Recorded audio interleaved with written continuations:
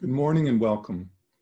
I'm Jonathan Holloway, president of Rutgers, and I'm pleased to welcome you to this symposium marking 10 years since the tragic death of Tyler Clementi.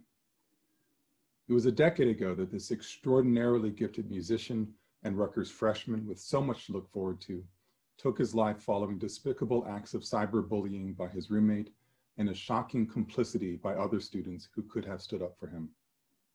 This is a devastating story that reverberated across the country and around the world. It remains so today.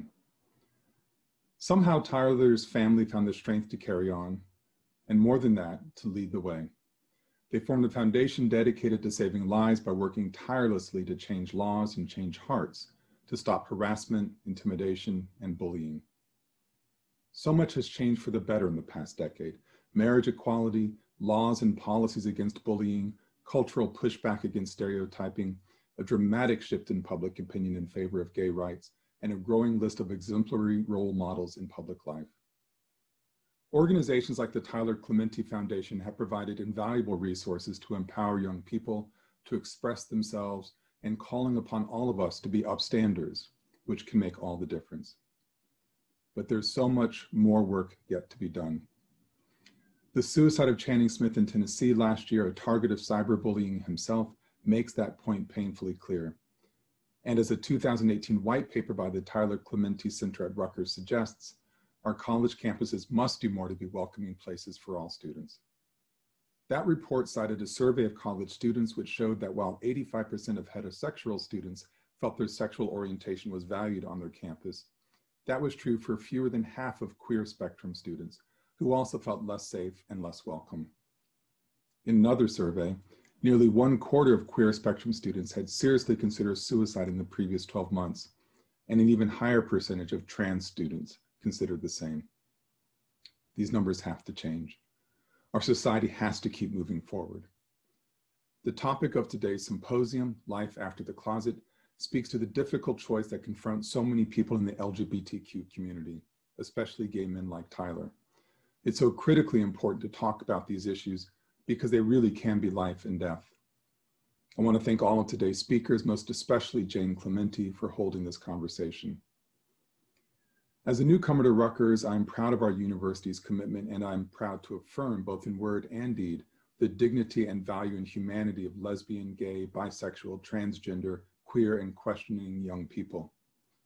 Let us honor Tyler's life and passion and excellence in making our university and our society truly inclusive, welcoming, and life affirming. Thank you. Our next speaker is Jane Clementi. Jane Clementi co founded the Tyler Clementi Foundation alongside husband Joe because she wanted to make sure that our society learned the consequences of discrimination and bullying, as she learned all too personally through the loss of her son Tyler. A native of New Jersey and devoted mother of three sons, Jane speaks passionately to parents and community leaders about the need to not merely accept or tolerate children who come out as LGBT, but to embrace them as wondrous creations of God. Jane, a registered nurse, speaks on the need for parents of LGBT children to come out and speak openly of the love they have for their children, and in doing so, each one of us can impact the world around us and create accepting environments. Jane has spoken before the U.S. Congressional Help Committee, the National Cathedral, and numerous other faith communities, colleges, universities, high schools, and workplaces. Good morning. I'm so glad I'm able to be here with everyone at today's conference as we hear from the experts and continue some difficult but much needed conversations around privacy and intruding into or invading the private physical and or emotional spaces of others, as well as the humiliation and pain and shame that can result. These conversations are very personal for me because you see, it was my son, Tyler Clementi, who started many of these conversations 10 years ago when Tyler made national headlines as the target of a cyberbullying situation. In the fall of 2010, when Tyler started his freshman year at Rutgers, with much enthusiasm and excitement for a promising future, in a place where I believe he thought he could be himself. But unfortunately, Tyler did not find that to be the case. because within a few short weeks, Tyler's roommate live streamed Tyler in a sexual encounter with another man. His roommate then tweeted about the event and invited many others to join in and watch, announcing to the entire world a personal moment that should have remained just that a private encounter. I can only imagine how humiliated Tyler must have felt in front of his new dorm mates. He may have even thought that his sexual orientation was something to be ashamed of as he continued to read the jokes and comments on social media.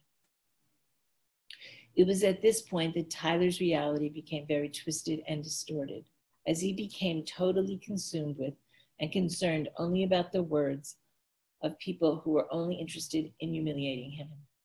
He could, no longer see how special and precious he was, nor could he find the resources and support that were available to him both at Rutgers University as well as at home. Because it was at this point that Tyler made a permanent decision to a temporary situation. A decision that we can never go back and change. On September 22nd, 2010, Tyler died by suicide. He was only 18 years old. And as much as we wanted to go back and change Tyler's actions, the reality was we could not but we could move forward and put our energy and efforts into making sure no other student or young person ever feels the pain, shame, and humiliation that Tyler experienced. That's why we created the Tyler Clementi Foundation, which is working to end all online and offline bullying, experienced by both youth and adults alike, whether at school or because of legislative inequality or because of religious dogma caused by teachings and traditions that devalue the human spirit and cause so much pain and despair. The Tyler Clementi Foundation started out simple. Our goal was to see change, and we wanted to see people being kind, respectful, and civil to each other. We started the Tyler Clementi Foundation not just to raise awareness around the issues that impacted Tyler, but to create actions and solutions to those issues based on research. And what better place than Rutgers for that to occur? An institution that is known for its academic excellence and research initiatives. We were very pleased when Rutgers University wanted to partner with us, the foundation and family, to develop the Tyler Clementi Center at Rutgers. I believed it was the perfect fit. And I am still very optimistic that the Tyler Clementi Center for Diversity Education and Bias Prevention will become a leader in developing strategies, resources, and programs based on research. Programs that will promote safe college campuses for all vulnerable groups so that all students will be able to focus on learning without any distractions because of fear for who they are, who they love, or anything else that makes them different. Resources that will not only benefit Rutgers students, but can be implemented in colleges and universities all across the country. Because no matter what makes someone different or vulnerable, every student deserves the chance to succeed and thrive. I am very excited to hear from the presenters today on the very important topics of life after the closet, examining both the harmful and yet sometimes protective elements of the closet, because they do both coexist. And sadly, now I know that Tyler experienced both aspects. Of course, what breaks my heart is learning and reading recently about the harmful, painful side of the closet that Tyler experienced. Learning that the Tyler I knew, the enthusiastic, articulate, thoughtful, and determined Tyler, was sadly, at times, not the way he saw himself. I saw a creative, inquisitive, adventurous young man with a passion for music who was truly a gifted violinist. But that was not the Tyler who documented his pain and sadness, his anger and loneliness on the pages I recently found during my move. But that Tyler was so very different from who I knew. I hardly recognized this side of Tyler as he never exposed his innermost thoughts and sorrows to anyone. And that's why we need these conversations today. And that is why I'm especially enthused about the proposed solutions coming out of these conversations. These ideas that can be put into actions, which will be implemented into programs and policies to keep our LGBTQ students safe and supported. I do want to encourage everyone to go to the Tyler Clementi Foundation's website, tylerclementi.org, to find out more about Tyler's Foundation and more specifically how you can become an upstander, a person who does not remain a passive bystander, but rather someone who stands up and speaks out in a bullying situation. And finally, I want to share my gratitude with everyone who helped to create a new legacy of hope around Tyler's name.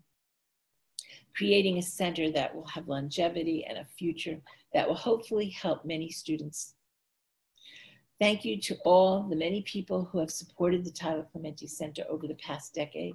And I'm extremely grateful to have the support and oversight of Dr. Anna Branch and Dr. Joan Collier, moving the Tyler Clementi Center for Diversity, Education, and Bias Prevention forward into the new decade. Thank you all for coming. Our next speaker is Dr. Perry Halkitis. Dr. Halkitis is a public health psychologist, researcher, educator, and advocate who is Dean and Professor of Biostatistics and Urban Global Public Health at the Rutgers School of Public Health. Dr. Halkitis is the founder and director of the Center for Health, Identity, Behavior, and Prevention Studies. For three decades, Dr. Halkitis' program of research has examined the intersection between HIV, HPV, and other STIs, drug abuse, and mental health burden with regard to the biological, behavioral, psychosocial, and structural factors that predispose these and other health disparities in the LGBTQ population. His work focuses on the translation of this knowledge through implementation science research that examines the effectiveness of tailored and adaptive interventions in order to prevent and eliminate these disparities. His research program has been awarded over 30 million in grant funding. Most recently, he has been involved with New Jersey contact tracing efforts, helping to develop the curriculum and launch the New Jersey Community Contact Tracing Corps. Uh, good morning, everyone. My name is Perry Halkitis. I'm Dean, Professor, and Director for the Center for Health Identity, Behavior, and Prevention Studies at the Rutgers School of Public Health at Rutgers University. I'm very honored to be here with you this morning to talk somewhat about the role of the closet in the lives of LGBTQ people, specifically reflections on shame and the closet in the lives of gay men across time and space. This presentation in today's symposium is in honor of Tyler Clementi. It is now 10 years since we lost Tyler from our lives. Like many young LGBTQ people, he was taken from us way too early. Today, we continue to see high rates of suicide in the LGBTQ population, as well as increased rates of homicide towards LGBTQ people, especially Black trans women. The lives of LGBTQ people continue to be completely put upon by the realities of our society.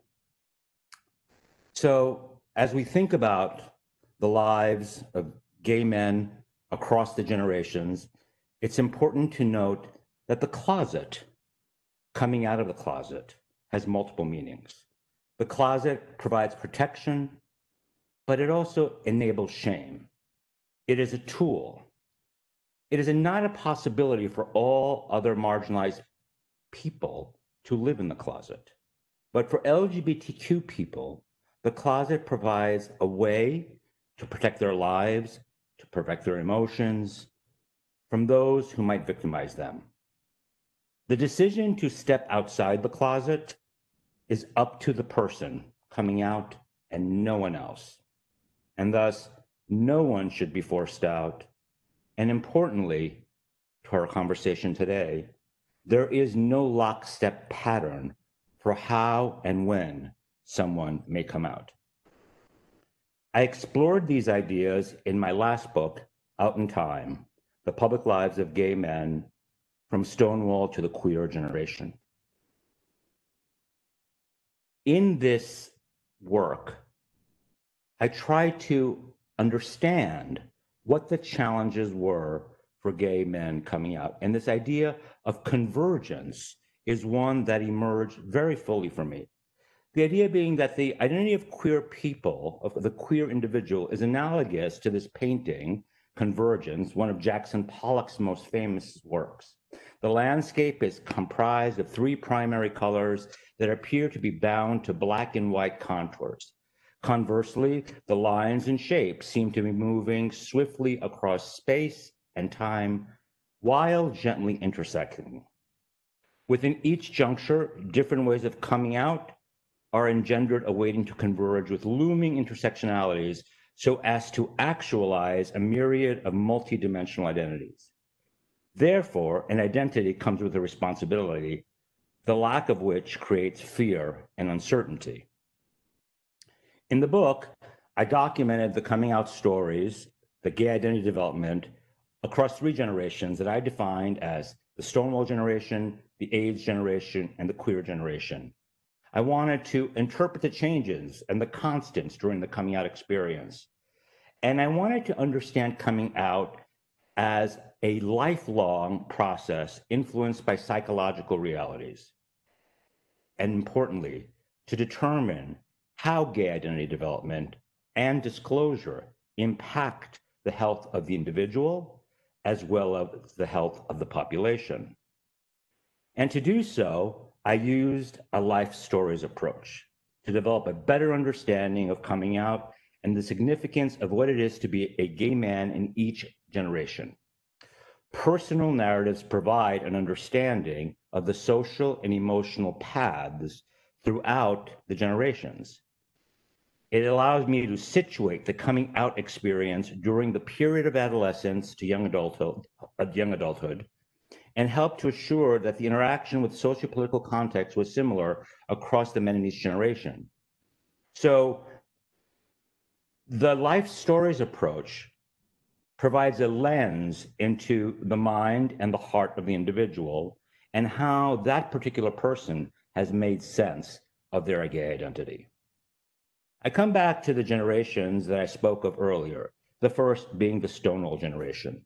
For this particular group, I interviewed five men ranging in age from 62 to 78 years, um, and whose lives were defined by this extremely important moment in history 1969, the Stonewall riots in New York City, which is marked by many as the beginning of the LGBTQ rights movement. Jaundiced policies fueled denial and the suppression of sexual identity, forcing many gay men of the Stonewall generation to never publicly disclose their sexual identity. The Stonewall riots contributed to the de- development of the Gay Liberation Front, as well as other gay, lesbian, and bisexual civil rights organizations. In the picture, you see two of the pioneers of the LGBTQ rights movement, Sylvia Rivera and Marsha Johnson. And Tom, one of the men who I interviewed for the book, talked about being a member of this generation as follows. He said, Look, we grew up in an age where who we are and how we expressed ourselves as sexual beings was abhorrent, you know, and for a long time, it was, you know, we were breaking the law. The next generation is the generation with which I identify, known as the AIDS generation. This generation also consisted of five men who I've interviewed who were between the ages of 42 and 51 at the time of the interview. And the defining moment for these particular men was the AIDS crisis. The HIV AIDS epidemic shaped the lives of many gay men from this generation. And epidemiological data shows that men, gay men born between 1960 and 1964, were the ones who are most and were most impacted by HIV. Gay men of this generation lived in anticipation of existing in fear or shame in connection with distorted beliefs concerning the HIV epidemic from both the gay community and the heterosexual community. The last group with whom I spoke, I defined as the queer generation, the youngest of the three generations. Again, a total of five men from this generation, ranging in age from 19 to 20, 29 these five men were the most racially and ethnically diverse of all of those who I interviewed. The young men in this particular generation were empowered by the age of the internet and social media. And the queer generation is vastly diversified and educated in HIV, AIDS, gay identity, race, and cultural differences. Many gay men from this era are not in the court accordance with the hegemonic white masculine conception that typically defines the gay population. So, to understand the generations, it is very important to understand the crisis that defined each generation. The Stonewall generation, the AIDS generation, and the queer generation, while experiencing some similarities, all had a very unique crisis that defined their age group. So the generational crisis was a phenomenon that was forged by the interplay of social, cultural, political, legal, medical, and economic factors that birth each period. I want to say up front that while I identify each generation with a crisis, when I come to the queer generation, I may reiterate this, but I want to say it up front right now that the crisis of the queer generation also includes the crisis of the AIDS generation and the crisis of the Stonewall generation. So for the Stonewall generation, the main crisis was the crisis of identity. The men of the Stonewall generation experienced an identity induced by an ex- existential fear of forging an identity influenced and framed by the social circumstances that denounced being gay as both pathological and criminal. Compelled these men from this generation to compartmentalize their personalities, creating multiple personas in order to survive. Their, their lack of authenticity or their lack of ability to be authentic with themselves created a psychological disconnect that hindered the integration of their multiple identities. Systematic oppression and social stigmatization forced many gay men into isolation or refrain from acting on their sexual desires. Why is this so? because in many countries, including ours, there were laws that made homosexuality illegal. In fact, in the Great Britain, the Criminal Law Amendment Act of 1885 was used as a means to punish World War II hero Alan Turing, who was chemically castrated because of his homosexuality. Alan Turing, as we know, is the father of the modern computer and a great mathematician. With regard to this crisis and the regard to the realities of this particular generation, one of the men with whom I spoke said this I felt afraid. I was fearful because I saw what had happened historically to gay people. But then I saw what was happening with the gay revolution. So, you know, there was fear over here, there was hope over here, and you know, the arrow of time goes only in one direction. I thought, well, you know, eventually, but how quickly? Back then, we didn't know. My friend Felix, who's 87, I guess, 87 years old, he was a dancer. He danced with Judy Garland's boys. And yeah, I think he was arrested along with one of his friends. In fact, in 1967, a very significant documentary was produced by CBS called The Homosexuals with Mike Wallace as its host. And the message was this the average homosexual, if there be such, is promiscuous. He is not interested in nor capable of a lasting relationship like a heterosexual marriage. That was 1967, only 53 years ago when those words were uttered. The crisis of AIDS defined the generation that if I, which is my generation, uh, men born in the United States um, during the 1960s, particularly between 1960 and 1964, were most impacted by this disease. Not that men from the Stonewall generation or the queer generation are not, they were also, but it was primarily rooted in men in this age group. The HIV epidemic instilled in everyone a fear of the unknown, a precarious future, or none at all. AIDS began to define coming out. Coming out is not only then tied to a sexual orientation, but to HIV status. And for many gay men who became HIV positive, disclosure of their sexual identity often accompanied disclosure of the HIV status. And so, in that regard, one of the men with whom I spoke said, I recall seeing this film. It was a film on made on TV about Ryan White, and it stirred up feelings of sadness. It was hard to hear about the story of this child with HIV. At that time, he was considered an innocent victim. When I heard this terminology, it made me feel shame.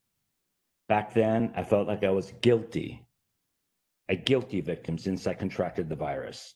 This was a 53 year old man who I named Emilio, who was talking about the Ryan White story, which appeared in 1989.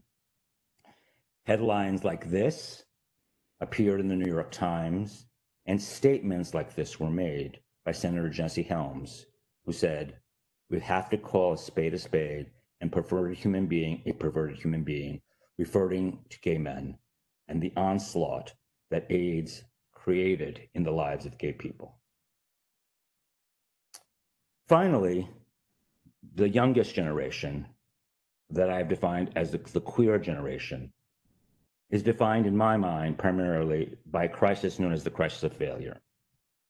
The financial crisis has left an indelible, indelible mark on the lives of members of the queer generation. According to the US Bureau of Labor, during 2017 to 2018, Unemployment rates were particularly high for young people. For men between ages 20 and 24, it hovered around 7 and 8%. For 25 to 34 year old men, the rate was around 4%. These numbers are certainly worse now post COVID.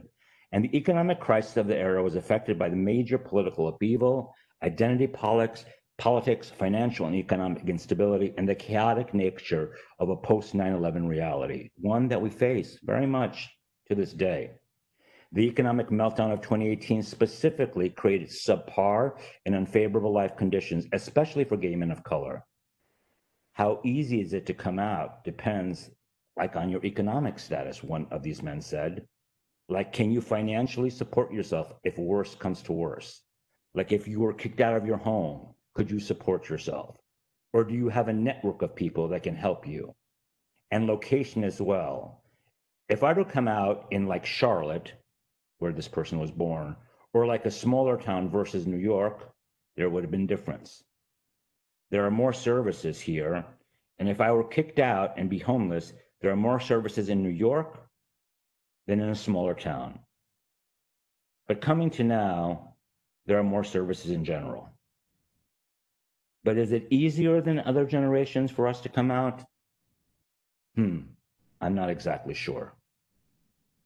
And Joel Stein wrote about this phenomenon of the financial crisis, the post 9 11 world for this generation, for the millennials, who define most of the queer generation as follows Their development is stunted. More people ages 18 to 29 live with their parents than with a spouse. In 1992, the nonprofit Families and Work Institute reported that 80% of people under 23 wanted to one day have a job with greater responsibility. 10 years later, only 60% did very easy in this article to point the finger at the younger generation. I, on the other hand, have a different approach. Some members of the previous generation demean the experience of younger people.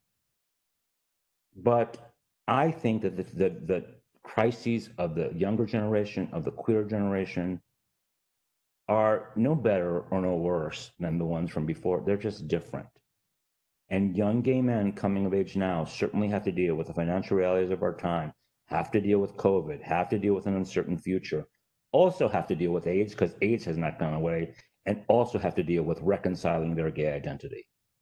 And so it is a cumulative effect that young people continue to face.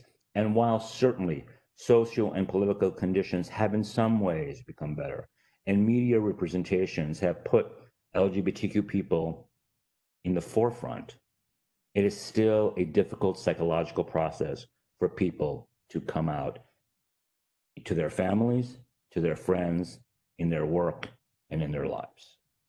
And that's what I want to attend to right now coming out and developing a gay identity. So much of the difficulty of coming out is rooted in this concept of otherness.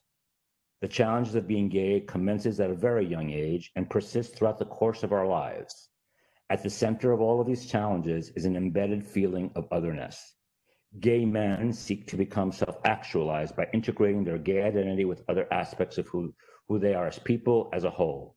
The processes are complicated by ongoing societal conditions, but also exacerbated by the gay community itself, where conceptions of maleness and normalcy, issues of racism, and other such conditions facilitate and fuel drug use and sexual risk. Otherness is a sense of living on the outside of a heteronormative society and culture, and is often how gay men understand themselves. If unchecked, it can serve as a source of loneliness and social isolation, contributing to other psychological burdens that give rise to numerous health disparities, including but not limited to HIV. Gay men's relationships in, to the microsystem of families and the macrosystem of society serve as the source and weight of the otherness that we must endure. Coming out to our parents serves as an initial step for many as a means to make sense and integrate this otherness, diminishing the negative impact that feelings of other difference may have in our lives. However, this feeling of otherness just does not just fall from the sky.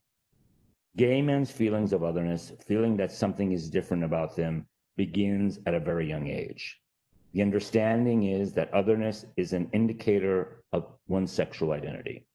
It is reinforced by social settings and groups such as families, neighborhoods, schools, communities, religious congregations, and workplaces, and within local, so state, and federal governments. Loneliness is one outcome of otherness. Loneliness is a palpable reality for gay men, which drives risk and diminishes overall physical and mental health. In 2016, in an article, journalist Michael Hobbs articulated the impact of loneliness in the lives of gay men, connecting this burden to feelings of otherness and the masking of sexual identity, the masking or the closet in which many of us live for a very long time. Loneliness doesn't truly ever go away, and continues to permeate our existences, even we are when we are physically, romantically, and emotionally not alone. A snowball effect in which the feeling of different or other or less than or knowing but hiding leads to ongoing attempts to try to fit in and suffer the silence. So even when we're out of the closet, we are still trying to fit in because we have spent a lifetime trying to fit in. One of the men with whom I spoke says it as follows I was kind of fooling around with a friend of mine who was on the crew team, but la- la- like again, was mostly like mutual masturbation and stuff. And he had a girlfriend. And then it was just, it got weirder and weirder the longer I was there because I realized that if I, that I were to come out, it was like I look like a weirdo if I come out there. And so I got really depressed at one point about that because I feel like by the time of my sophomore year, I was like, now I just come out. If I'm going to just be like the weirdo, because there's no reason for me not to come out before in this place. Does that make sense? In other words, this young man was negotiating his sexual behavior with his sexual identity, but couldn't reconcile the two and didn't know if it was safe for him to come out. In fact, many individuals fear coming out. The notion of other causes many gay men to be in a state of uncertainty about coming out. Self development, however, will be stunted if gay men are unable to embrace this otherness and integrate it with the rest of their lives. But that does not mean that one should be forced out of a closet. One should be enabled in their own time and in their own space to come out. Feelings of otherness are exacerbated and in many ways heightened by parents who portray their children's sexuality as abnormal, bizarre, and morally wrong. And as a result, many make a decision to stay in the closet until it is safe to do so. I myself, in 1981, came out as a gay man, but only after I left my home and went to school at Columbia. Here's what another man said who I interviewed my best friend at the time, I kind of had dissociated myself with him because he came out. I mean, he was all about Madonna. His entire locker was nothing but Madonna, Madonna, Madonna. My locker was right next to him, and I was all Janet Jackson. It was all Rhythm Nation, Control, you know, and so we have like dueling battles of the divas, but yet, like, I didn't even admit to being gay. And he was really brave. He said, fuck it, I'm going to come out. And he did, and he was bullied awfully, awfully. Some member of the of the AIDS generation who shared that story who chose to stay in the closet because he saw what happened to his friend who came out. And so the decision about when to come out, as I stated earlier, has to be in control of the person who is living the life. And when that person feels safe and when that person feels right. So in 2010, The Guardian reported the findings of a poll conducted by Stonewall, which is a community based organization in the UK. 1,500 openly gay, uh, openly LGBTQ, actually, people were asked about the age in which they had come out. Among older adults, age 60 and above, the average age when they came out was 37 years of age. For individuals in their 30s, the average age was 21 years of age. Among people between the ages of 18 to 24, it was 17 years of age. With each generation, gay men have started to come out a younger age. Living in a more enlightened era has contributed to lowering the coming out age as generations continue to evolve. However, the LGBTQ population continues to confront the perpetual need to explain and clarify who they are since coming out is an ongoing process that lasts a lifetime. We just don't come out once, we come out our whole lives. And I challenge every heterosexual person who's listening to this or watching this to imagine a life where they had to come out as straight every time they met someone. It's sort of like you're taking hold of your identity and that tattoo. I'm owning this identity. I'm gay. I'm a man. I've got a pink triangle on me. I'm gay it means I can't take it off. That's what Juan, who's 19 years old at the time of the interview, said about coming to, into his own being as a gay man. Gay men must go through stages of development from childhood to adulthood in order to reconcile their identity. They must interpret to learn who they are aside from what is directly surrounding them. For many of us, especially older gay men, there were not these media representations in front of our eyes. Then we need to internalize, to incorporate perceived knowledge into ourselves and understand that we are separate from our social and physical environments.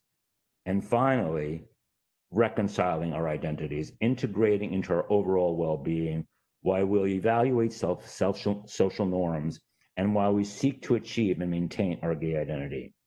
Some men are able to transition from one stage to the next swiftly, However, sociopolitical conditions, cultural circumstances could delay such a process.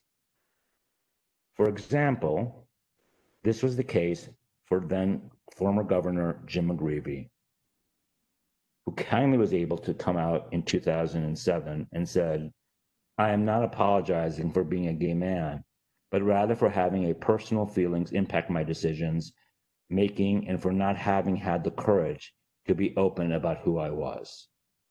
Again, the challenge of living in a heterosexual, heteronormative world and wanting to aspire to a higher office, such as government, was not in the governor's understanding of how society worked. And so he chose to live a closeted life until he could not live a closeted life. Becoming a gay man is a unique journey that we each embark upon in our search for identity, and it's a road we take down, we take in our lives. From birth, human beings are blank canvases that come up that come to life with each intersecting brushstroke that delineates the sexual identity of gay men. I'm proud, I'm out, and there's no hidden parts of me. It has to do with maybe my way of looking at relationships. But what it is, like to be a gay man, doesn't resonate all that much for me I've been out for a very long time and sort of part of my fiber. And that was told to me by a young man named Yasser, who was able to fully integrate his identity into his being after several years of negotiating what it meant to be a gay man. Coming out for children um, is often predicated on coming out to their parents. There are no lockstep, certainly easy ways to tell your parents that you're gay. This is particularly challenging for young men, young women, young trans folks who are who come from cultures that have very rigid conceptions of masculinity and femininity. Irrespective of generations, telling your parents about the most intimate part of yourself never gets easier.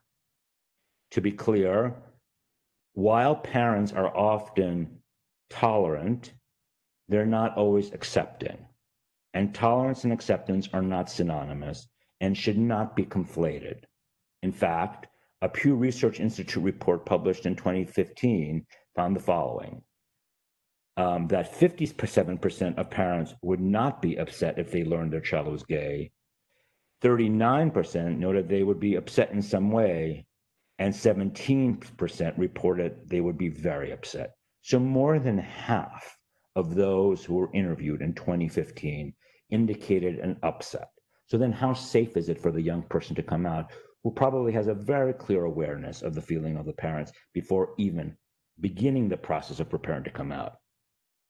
And here's the quote from one of the men with whom I spoke, Jeremy, 26 years old at the time of the interview, who said the following Once I did that, came out, and everybody was more accepting, it was like I said, my dad's just changed for the better. It was weird. And just being able to be myself around my family, because that's kind of where I used to be. You know, I was I was always myself around my family. But then when I decided to accept to be me, that I was gay, I wanted to be, I wanted them to know too and I wanted to be okay with coming out and them knowing that. Then me bringing, you know, friends over that are gay or to have a boyfriend. And while Jeremy tells a very nice, a very accepting, a very loving story of his family, and which is also the case for me, that is not necessarily the norm. And for many, the result is rejection from the family.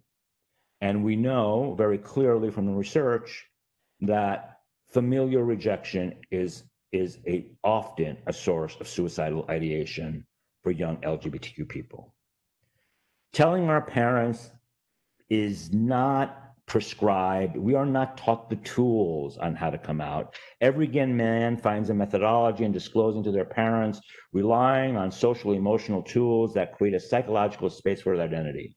Most of the men who, whom I spoke utilized some form of written or multimodal communication, such as letters or electronic mail or text, to disclose to their parents. No matter the generation, disclosing your sexual identity to our parents never gets easier, as I said earlier. And this letter is very, very telling and very illustrative um, of what um, what many gay men go through. And this was written by Emilio, 53 years old, who wrote to his parents this letter before he went and visited them in upstate New York. He said, Dear mom and dad, boy, I don't even know where to begin with this letter. It probably is the hardest thing that I will ever have to write.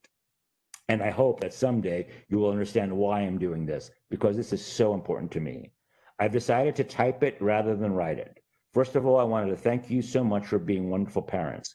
Not only have you both come from different countries and learned to speak English, the English language, but you have also done so much more. You have raised six bright and loving children. You have also ensured our success by teaching us, all of us, to be proud, independent, and to have love for each other no matter what. The strength of love is the reason I can no longer deny this truth. I want you to know and love me for who I really am. Secondly, I want you to know at this point in my life, I have never been happier or healthier. This is the first time in my life that I can actually love myself. What I am trying to tell you is that I am gay. You have also said that you will love your children no matter what. And I hope that you would love me even though I'm also HIV positive. This means that I have been exposed to the AIDS virus. There's a chance that I might progress to AIDS, and there's also a chance that I may not. And he continues to tell his parents the rest of the story is, is, uh, of his life in his letter and it concludes it with love and support. All is a possibility. Many gay men, however, do not tell come out to their parents. This was the case of my husband. Some gay men never usually use utter the words "I'm gay" to their parents, and there's an unspoken understanding that develops over time. Very common for older men, for men of the AIDS generation and Stonewall generation who use nonverbal disclosure. Um, but it, this seems to have fallen out of favor for younger gay men. But even with this nonverbal recognition, Pam, Pam, Pamela's and Farron's have to realign their relationship with their child and the process learn to emerge as parents of a gay child. When faced with challenging situations, emotions, some men take a more compartmentalized approach, such as this, as keep so in so keeping their sexual identity separate from other aspects of their life, especially when it comes to their family. And then there are those situations when we are forced out. Now and then, the opportunity to disclose to our parents is precipitated neither by choice nor by the result of a crisis, but by the result of a crisis before we can uncover the truth. One narrative that I uh, heard happened to a 21 year old. The parents needed to repair their son by sending him to a therapist when they found out by another family member that he was gay. Well, when I was 21, he decided he was going to send me to a psychiatrist to get fixed. Yep, I'm going to get fixed by Dr. M. I went to him twice, in which he ultimately apparently decided to tell everything to my father that I said in sessions, which is a huge breach of ethics, as you know. The coming out experiences in relation to our families and our parents shadow so much of our lives, are rooted in our feeling of difference that precedes our abilities to understand our sexuality. The fact is that for all of us, there's an ongoing challenge to negotiate our sexual identity throughout our lives. Even after our families know who we are, we continue to seek our integration of our sexual identity with all other aspects of our being, an enduring effort shaped by feelings of otherness deeply embedded in our emotional lives. I'd like to sort of take this in a different direction right now and talk about the issues of intersectionality, racism, and a closet. And let me start with a story. Imagine there's a race about to take place with five participants with the overall goal to make it first to the top of a steep hill. Each runner is given a vest as so to identify the individual throughout the race. The first participant is a white middle class heterosexual man. The second runner is an African American middle class heterosexual man. The third is an African American lower class, lower SES heterosexual man. The fourth is an African American man of lower SES who's also a gay man. The fifth is an African American man of lower SES class who, uh, excuse me, a lower, gay, lower SES was a gay woman. Unbeknownst to the participants, their vests will secretly contain extra weight, 20 pounds for every ism in each, that each participant possesses. The concept of carrying extra weight for every negatively perceived ism directly addresses the concept of intersectionality. For each ism the individual possesses, their experience of injustice increases as a whole. When interconnected, the injustice is in its entirety weighs on the person. Thus, the first participant does not carry any weight. The second carries 20 pounds for the identification of African American. The third carries 40 pounds for being African American and lower SES. The fourth runner carries 60 pounds because they are African American, lower SES, and identify as gay. Lastly, the fifth runner carries 60 pounds because not only is she African American, lower class, and gay, but a woman as well. When one applies the concepts of unearned advantage and conferred dominance, one must look at the first participant. Since he possesses all positive perceived characteristics, his vest is merely weightless material. However, all the other participants unknowingly carry the weight of their diversity. Thus, the first participant has an invisible privilege since he only needs to compete with his own body weight, a privilege for which he is not aware.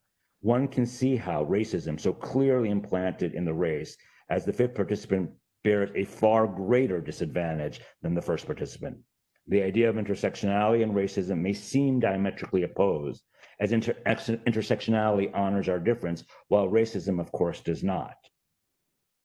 The multiple identities gay men hold as a lover, a brother, a father, a son, a sexual minority individual, are a celebration of the intersectionality Intersectionality informs the ongoing and evolving understanding that gay man is not a gay man, is not a gay man, is not a gay man. We are not a monolith. A gay man holds multiple identities that reflect his understanding of his own race, his own ethnicity, his own culture, his own class, and myriad other aspects of his being, including his sexual identity and gender identity. A key element of a intersectional theory is that the elements of these identities do not exist in isolation, but rather work together to shape how the individual thinks of himself. Race does not exist separately from sexual identity or class or gender identity. Rather, these identities interact and shape the realities and life conditions of a person. These identities cannot easily be split apart. And in that regard, one of the young men I spoke to from the queer generation said, as far as like my identity goes, my queer identity, it's not as bad. It's not really as bad. But then like then there's like when you're including that with my blackness, it's been pretty rough considering a lot of trans women, black trans women, are being killed, being slaughtered, honestly. Like I think the 23rd trans woman was killed recently, like two weeks ago. Segregation and racism are embedded in US history and culture and are also a painful reality of the gay community. The website, www.homohistory.com, is an online archive containing a multitude of photos of gay men and lesbians from throughout history. The images on the site are powerful, beautiful, and haunting. Pictures from the past expressing the sepia toned love stories between men and women across time and generations. Though many such photos have likely been destroyed or hidden away, those that have been uncovered and shared act as another strong piece of lesbian, gay, bisexual, transgender, and queer history, reminders of those who have come before us, some of who are proud of their sexual identities, as some who felt the need to cover their true selves from the rest of the world. Behind each photo is an unknown life story, many of which will remain unknown but will continue to inspire, challenge, and create a sense of wonder. Unfortunately, these photos are also demonstrative of the painful reality of, gay, of the gay community and that of American society writ large, namely the segregation and racism embedded in U.S. history and culture. It is nearly impossible to find an image on the site that depicts gay men of different races, cultures, or ethnicities, ethnicities together in one photograph. The images show individuals and couples who are practically doppelgangers of each other, much like the nearly all white cast of Friends or Girls, whose main characters, despite living in New York City in the 1990s and 2010s, respectively, socialized almost exclusively with individuals of their same skin tone. The images bring to light major challenges that we face as a society as we define who we are, namely intersectionality and racism, both of which shape the coming out process for gay men. Black and Latino sexual minority youth disclose their sexual identities to fewer people than, what, than white counterparts, young ethnic minority gay men struggle to negotiate affiliation and loyalty to both their ethnic community and the gay community.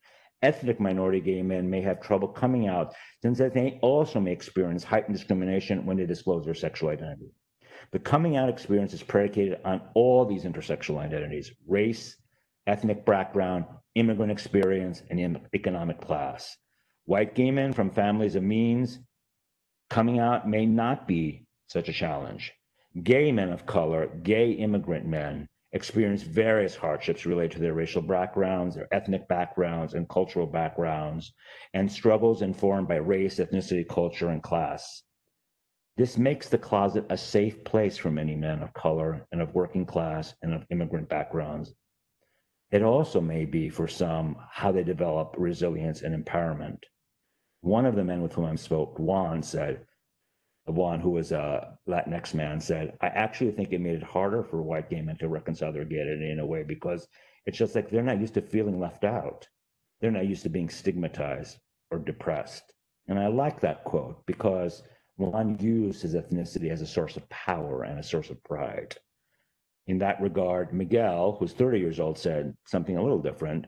Being marginalized across any boundaries is going to make you hyper self aware of other people's issues like if you have lots of things to worry about, chances are you have more profound understandings of how to disentangle those problems than other people because those don't have to deal with the same sorts of issues. Again, the power uh, allowed by having to be challenged, not only because of one's sexual identity, but because of one's culture and one's race and one's ethnicity. Intersectional identities and racism, both outside and within the gay community, are intimately linked Individuals who hold intersectional identities related to minority race and gender are not bestowed the same advantages as white gay men. Racism in the gay community is palpable. The oppressed may also oppress.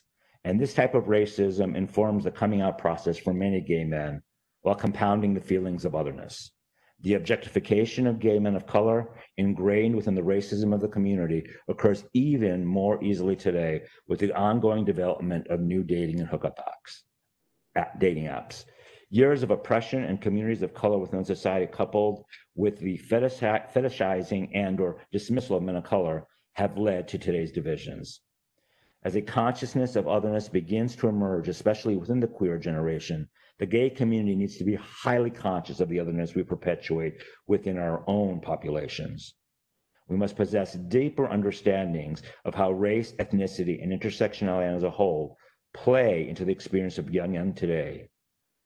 And one young man, Reed, who is Asian, described it as follows I had just moved to Chicago and went in the bar by myself and got a drink or whatever, and I paid with $20 and he gave me the change back and i was pulling it away to leave him a cash tip because that's what everybody does. And i heard him turn around to this other bartender and say that and then he used a bad word to describe a chinese person over there didn't leave me any money. Be sure he doesn't get served anymore which i heard just blatantly loud. And so i emailed the management and I said, "Hey, I want this. I want to use this establishment. I want to come to this establishment. I'm not mad.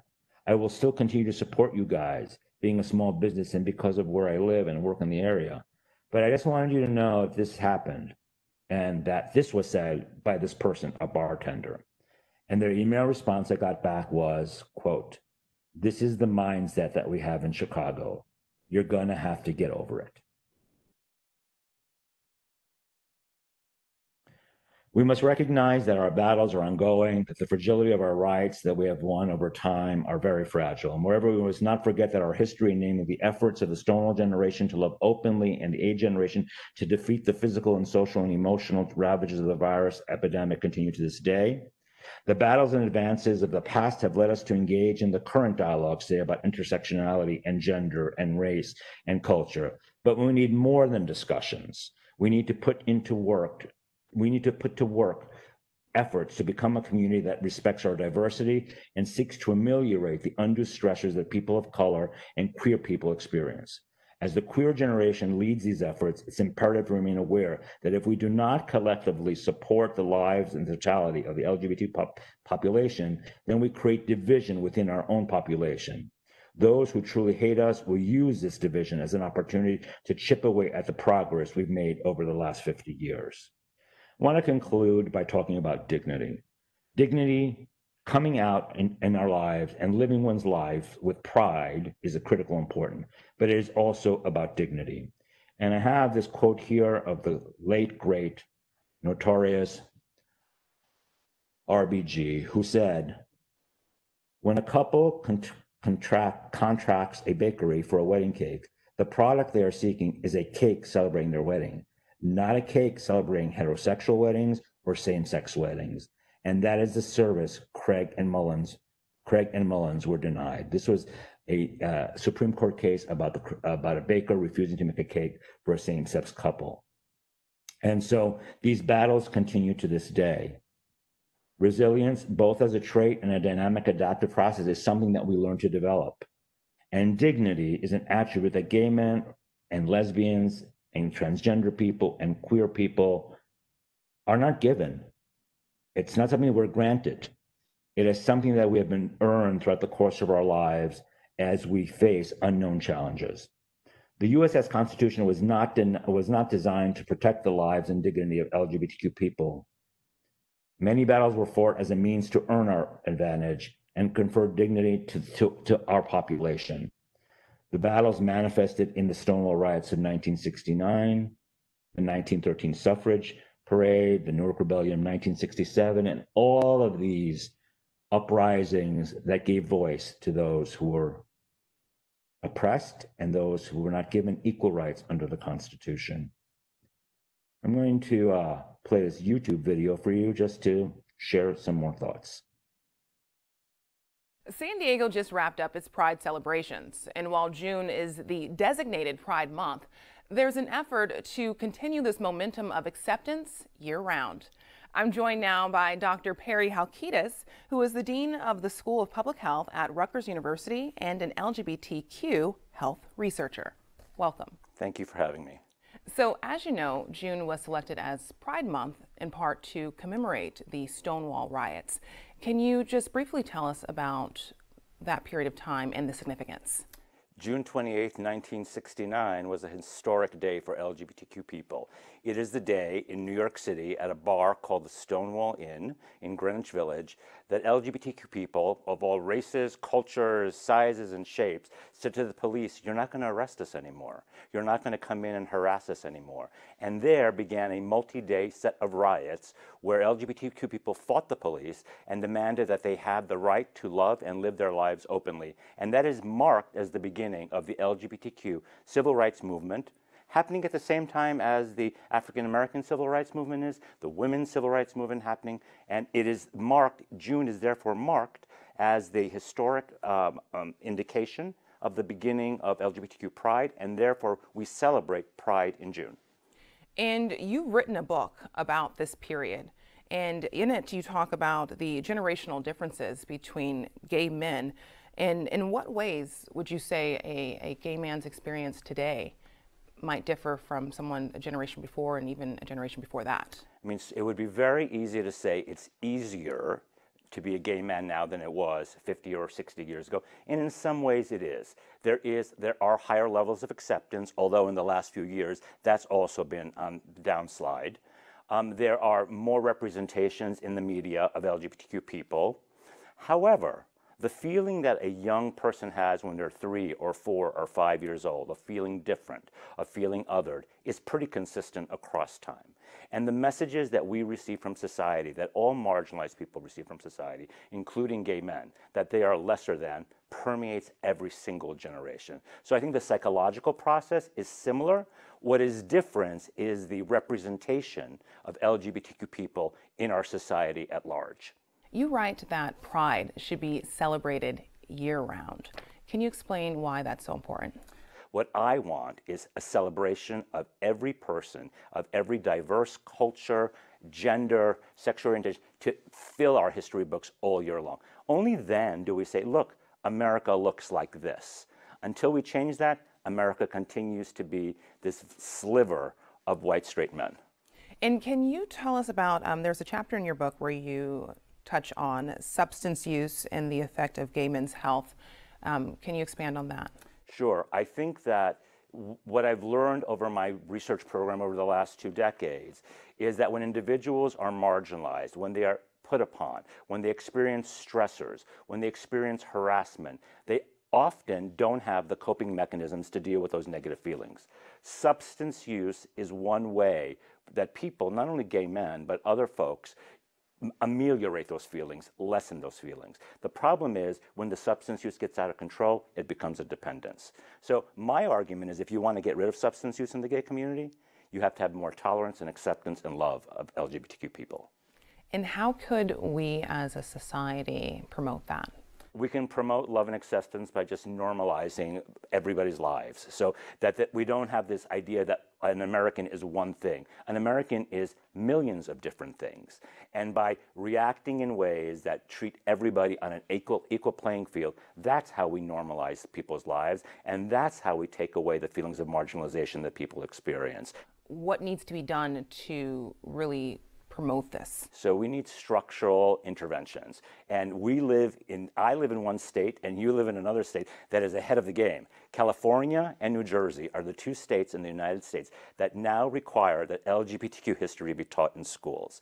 When you start at a very young age, when you include the life experiences of Sylvia Rivera and Harvey Milk and all those LGBTQ leaders in the history books from the, and you teach young children at a young age, that's how you change a society. And you know, California and New Jersey, God bless these two states. They are so ahead of the game.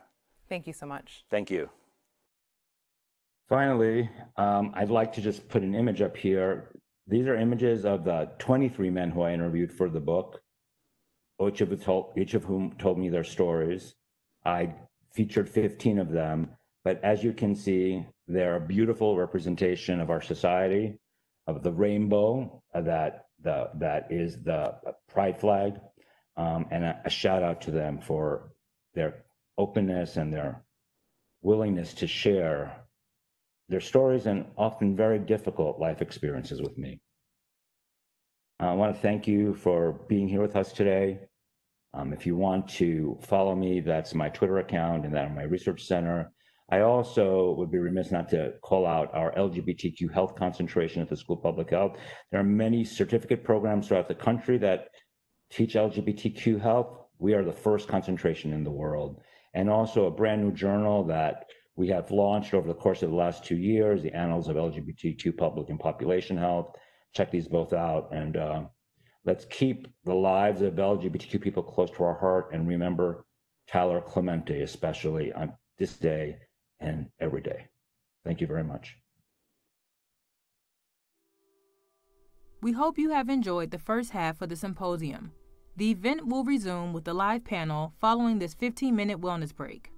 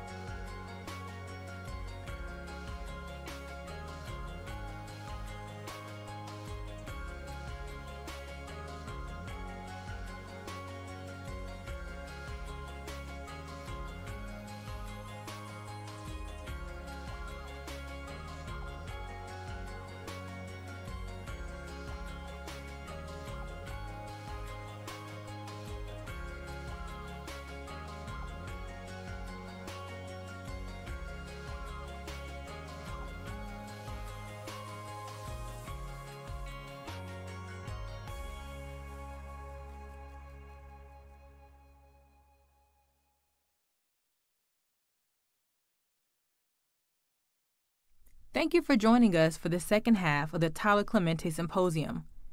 We're moving on to our next session. As people from minoritized backgrounds navigate a society in which discrimination, danger, harm, and violence are present realities, this panel seeks to explore how people from marginalized identities have navigated our society, seeking safety and inclusion. To better understand, we will consider the following questions What has been the purpose and instrumentality of the closet, of passing? What are the costs of the closet? Who pays the costs? How do agency and choice factor into the idea of the closet? During this panel, we'll be joined by Drs. Mignon Moore, Ellen L. Short, and Perry Halkitis. Dr. Mignon R. Moore is professor of sociology at Columbia University and chair of the sociology department at Barnard College. Her areas of expertise include race, LGBT populations, family, gender, aging, and qualitative research methods. Professor Moore has received grants from the National Institutes of Health, Ford Foundation, Russell Sage Foundation, and the Woodrow Wilson Foundation. Her research has been published in the American Sociological Review, American Journal of Sociology, Gender and Society, Journal of Lesbian Studies, and other outlets. Her first book, Invisible Families Gay Identities, Relationships, and Motherhood Among Black Women, University of California Press, is a study of same sex parent families. It won the 2012 Distinguished Book Award from the ASA Sex and Gender section. Her current work examines health and social support for the sexual minority seniors to determine the ways community institutions can better serve them. She is finishing a book titled In the Shadow of Sexuality Social Histories of African American LGBT Elders, 1950 to 1979. Dr. Moore was recognized by the Human Rights Campaign for her research and service to LGBT communities of color. Currently, she is president elect of Sociologists for Women in Society. She lives in Harlem with her wife and two children. Dr. Ellen Short is a counseling psychologist and a retired associate professor of graduate counseling programs in the Department of Counseling and School Psychology for the School of Education at Long Island University, Brooklyn. Dr. Short received an MA in counseling psychology from Northwestern University and a PhD in counseling psychology from New York University. Her areas of specialization in teaching, Scholarly research and publishing are group dynamics focusing on race, ethnicity, gender, and culture, social justice, multicultural counseling, and multicultural assessment of intelligence. Dr. Short has spent more than two decades working in the field of group relations and has served as a consultant at group relations conferences in the United States and internationally. She also directed group relations conferences at Teachers College, Columbia University, New York University, and the University of San Diego. She is the author of numerous publications, including the book Racial and Cultural Dynamics in Group and Organizational Life Crossing Boundaries, published by Sage in 2010, and Talking About Structural Inequalities in Everyday Life New Politics of Race in Groups, Organizations, and Social Systems which was published by Information Age Publishing in 2016. Dr. Perry Halkitis is a public health psychologist, researcher, educator, and advocate who is Dean and Professor of Biostatistics and Urban Global Public Health at the Rutgers School of Public Health. Dr. Halkitis is the founder and director of the Center for Health, Identity, Behavior, and Prevention Studies.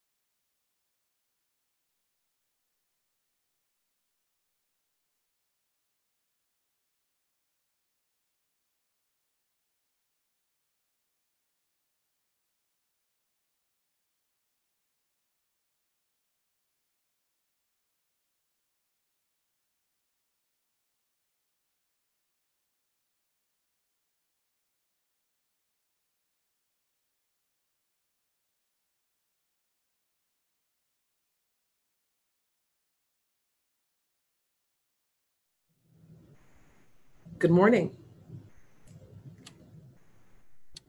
Good morning. I'm Enobong Hannah Branch. I have the privilege of serving as the Senior Vice President for Equity at Rutgers University, where I'm also a professor of sociology. I'm delighted to moderate today's panel on shame at the intersections of race, class, gender, and sexuality, featuring Dr. Mignon Moore, Dr. Ellen Short, and Dr. Perry Halkitis. Welcome, panelists. I'm looking forward to a wide-ranging conversation on shame, the closet intersectional identity.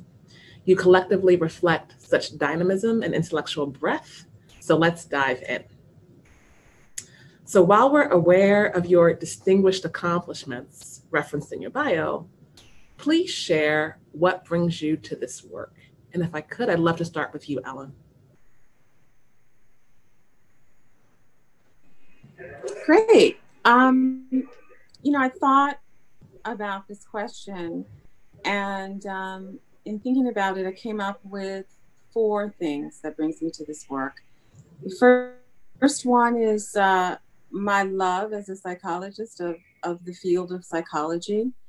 Um, and I think the second one is my love of group dynamics and my endless curiosity about groups and um, group life and some of the really fascinating things that happen in groups in general and how we spend so much time in groups throughout our lives. And we, we really don't necessarily pay much attention to that. So I've always found that really fascinating.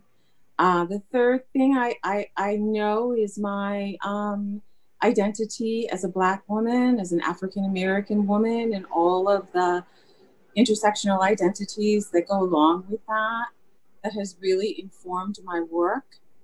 And uh, I think the fourth one is just um, always trying to stay um, in tune with the fact that the field of counseling and psychology, although it's done a great deal of good, it's also done a great deal of harm uh, in terms of pathologizing uh, people of color and women. And so, um, my commitment to the work is to have a positive impact that, in some small way, uh, reverses that. And so, those are the four things that really bring me to the work and that I feel most passionate about it. And um, I also want to make a contribution um, to the work through my teaching, obviously, my scholarship, and the consultation work I do for everyone but particularly for people of color and women. Awesome. Thank you so much for that answer. We're going to be coming back to some of the things you raised. Uh, Mignon, if I can turn to you, I'd love to hear from you. Sure. Hello, and thank you again for inviting me to participate in this conversation this morning. Uh, for me, I'd say uh, what brings me to this work is a quest for freedom, uh, for liberation, and uh, within the academy, I'd say the liberation comes from being able to research topics that are of critical importance uh, to understanding uh, the structural position of different groups in society and not marginalizing um, certain groups in our quest for understanding uh, how the social structure sets up inequalities. Um, liberation or freedom for my people who are Black people uh, to understand how LGBTQ people fit into our racial and ethnic communities. And uh, hopefully, through the Academy, other groups will follow course or have followed course or are also doing this work, trying to understand how people can have a racial and ethnic and cultural identity and also have an LGBTQ identity and how, how those things work together for them in different ways and I guess a liberation of my own. Uh, you know, um, being able to be an openly Black lesbian woman, a mother, a professor, and have all of those experiences inform um, the work that I do, the types of questions that I bring to my research, right? Perhaps I have a, a particular vantage point that uh, can be used to understand larger so, uh, sociology, uh, sociological processes. and um, to to have a freedom when I walk in a room of not having to hide anything and being mm-hmm. able to lay down the unspoken things on the table that can help us move forward. Again, so much richness there that we'll be coming back to. Thank you. Perry, can I turn to you? Absolutely. And thank you for the opportunity to be here today. And thank you for the opportunity to be with these amazing colleagues. I, I one of the great privileges of my life is that I'm surrounded by powerful, smart, amazing female identified people. And one of them is my niece, Sophia Halkitis, who often says, Oh, Uncle Perry, um, research is me search.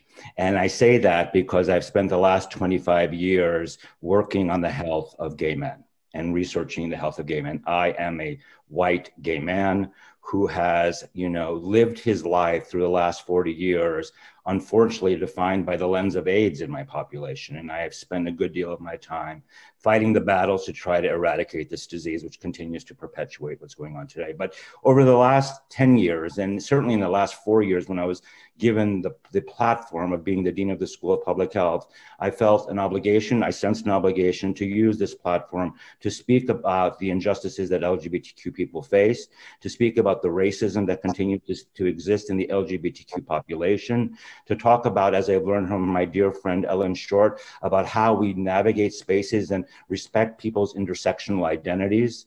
And importantly for me today, I'm here to honor the life of Tyler Clementi, who's one person in a constellation of millions of LGBTQ people whose lives were taken way too early from us because of societal structures. We find ourselves in this incredibly vulnerable time where our lives are at risk. So, as a researcher, I feel it is critical to be here, but as a researcher who is an activist who wants to demand change, I want to help move our country forward, move our university forward, and move our world forward. So I, I, I'm here for those reasons. Mm. Thank you. Again, such, such brilliant early reflections uh, with so much food for thought for us to follow up on uh, and discuss. Some ways I want to start where you ended, Perry, which is how do we think about Tyler as an individual in a constellation, right? The threads connecting what Ellen talked about in terms of group dynamics and what Mignon talked about in our ability to be open right? And the challenges. In many ways, Tyler's story sets up all of those things. Um, the tensions and the absences of those freedoms and liberation, as Mignon talked about. So whoever wants to kick us off, please do.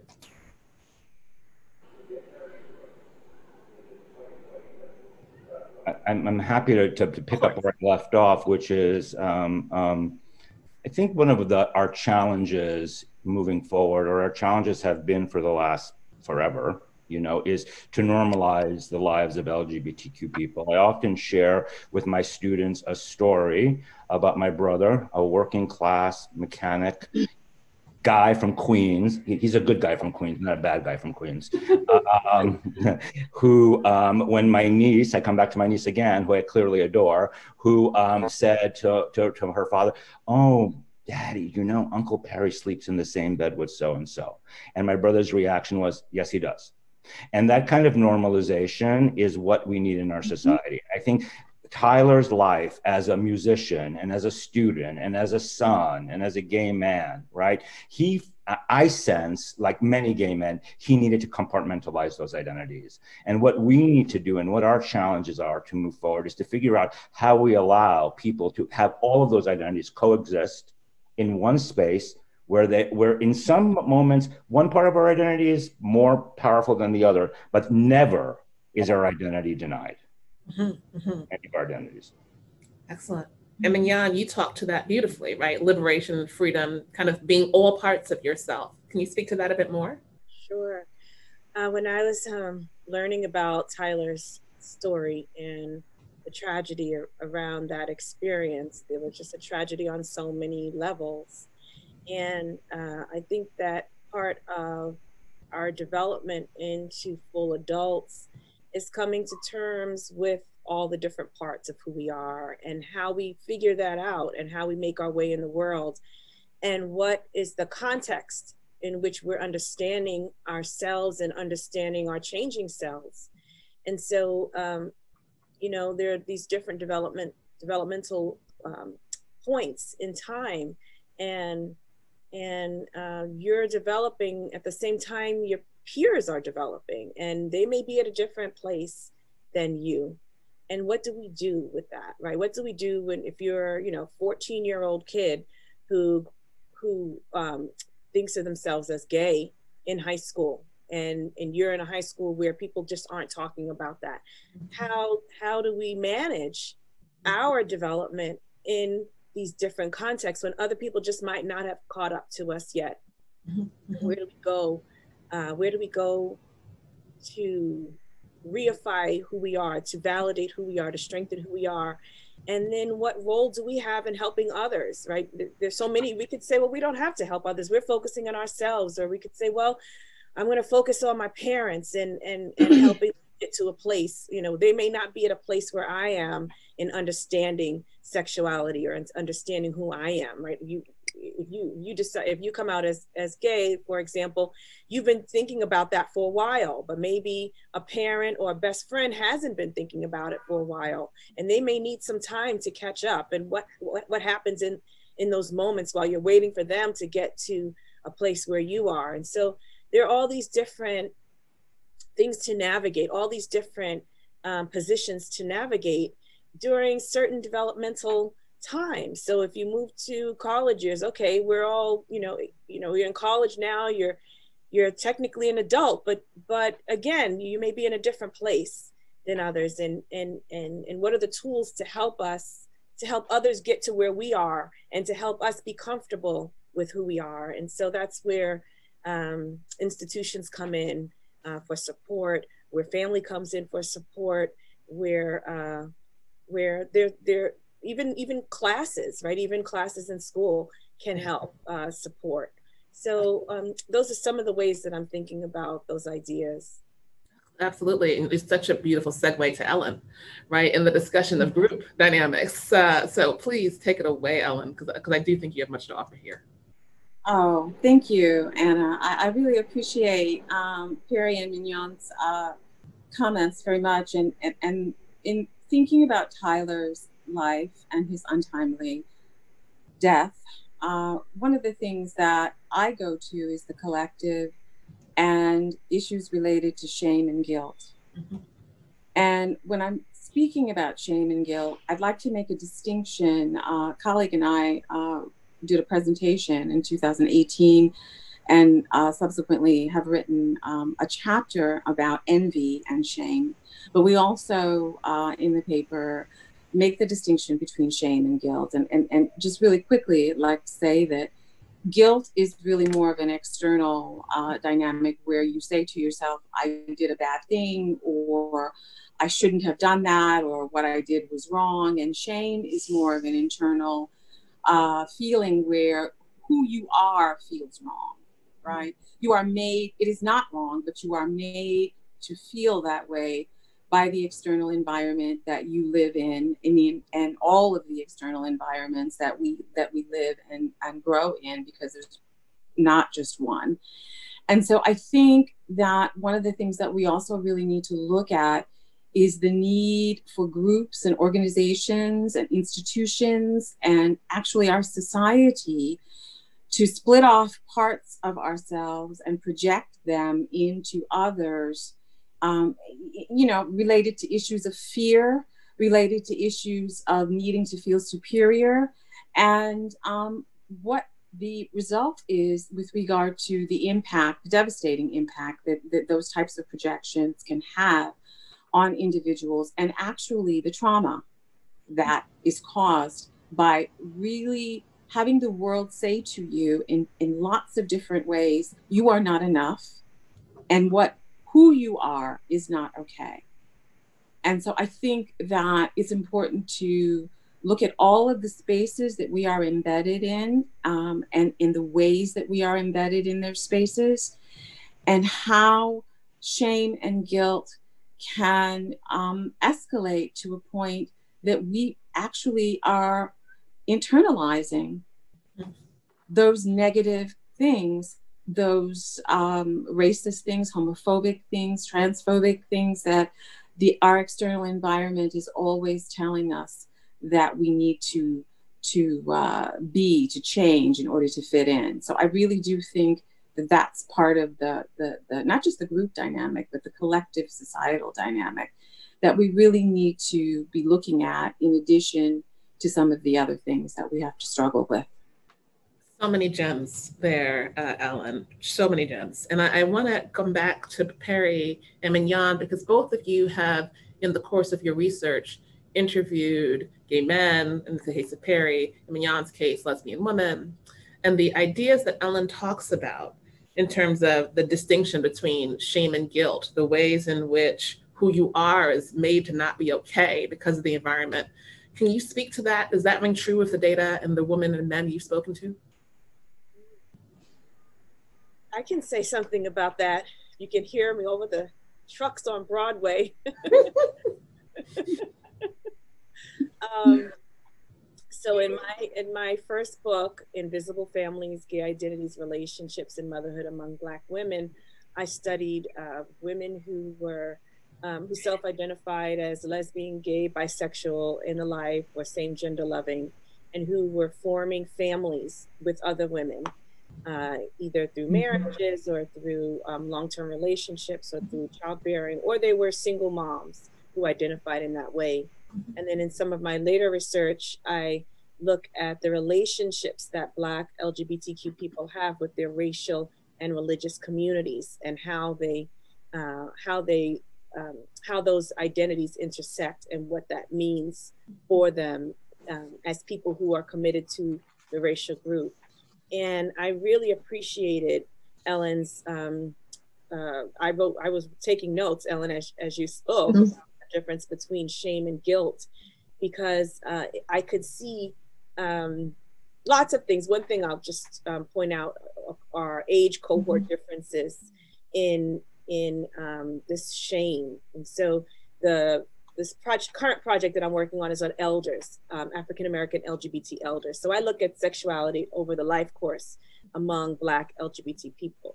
And this idea of shame has stuck with many of the older um, Black LGBT people that I have talked to over the years. This feeling that something is wrong inside of them, but they have mm-hmm. accepted that this is who they are and it has influenced how they moved around in society um, throughout their years. Some talk about how they didn't have children during childbearing years or during the time when people might have children because of this mm-hmm. shame, right? They felt that they weren't uh, they weren't supposed to, they weren't allowed to have children. They weren't allowed to have that component of a life course reflected in them because of who they are.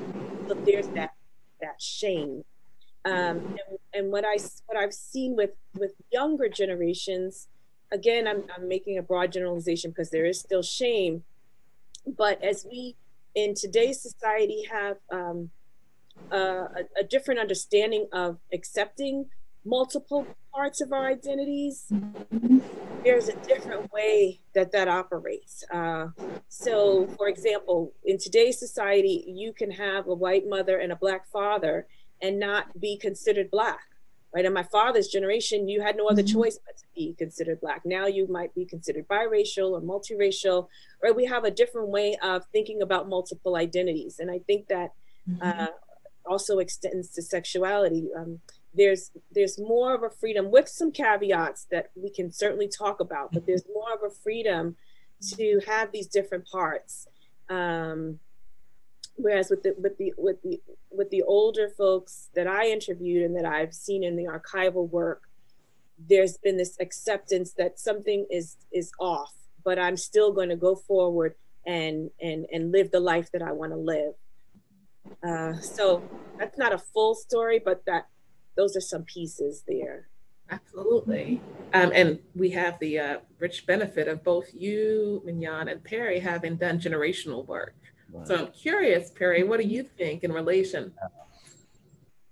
So let me let me start by saying that you know I want to preface my comments by saying I am a white gay man of privilege, mm. right? And so my life experience is shaped by those identities. Mm.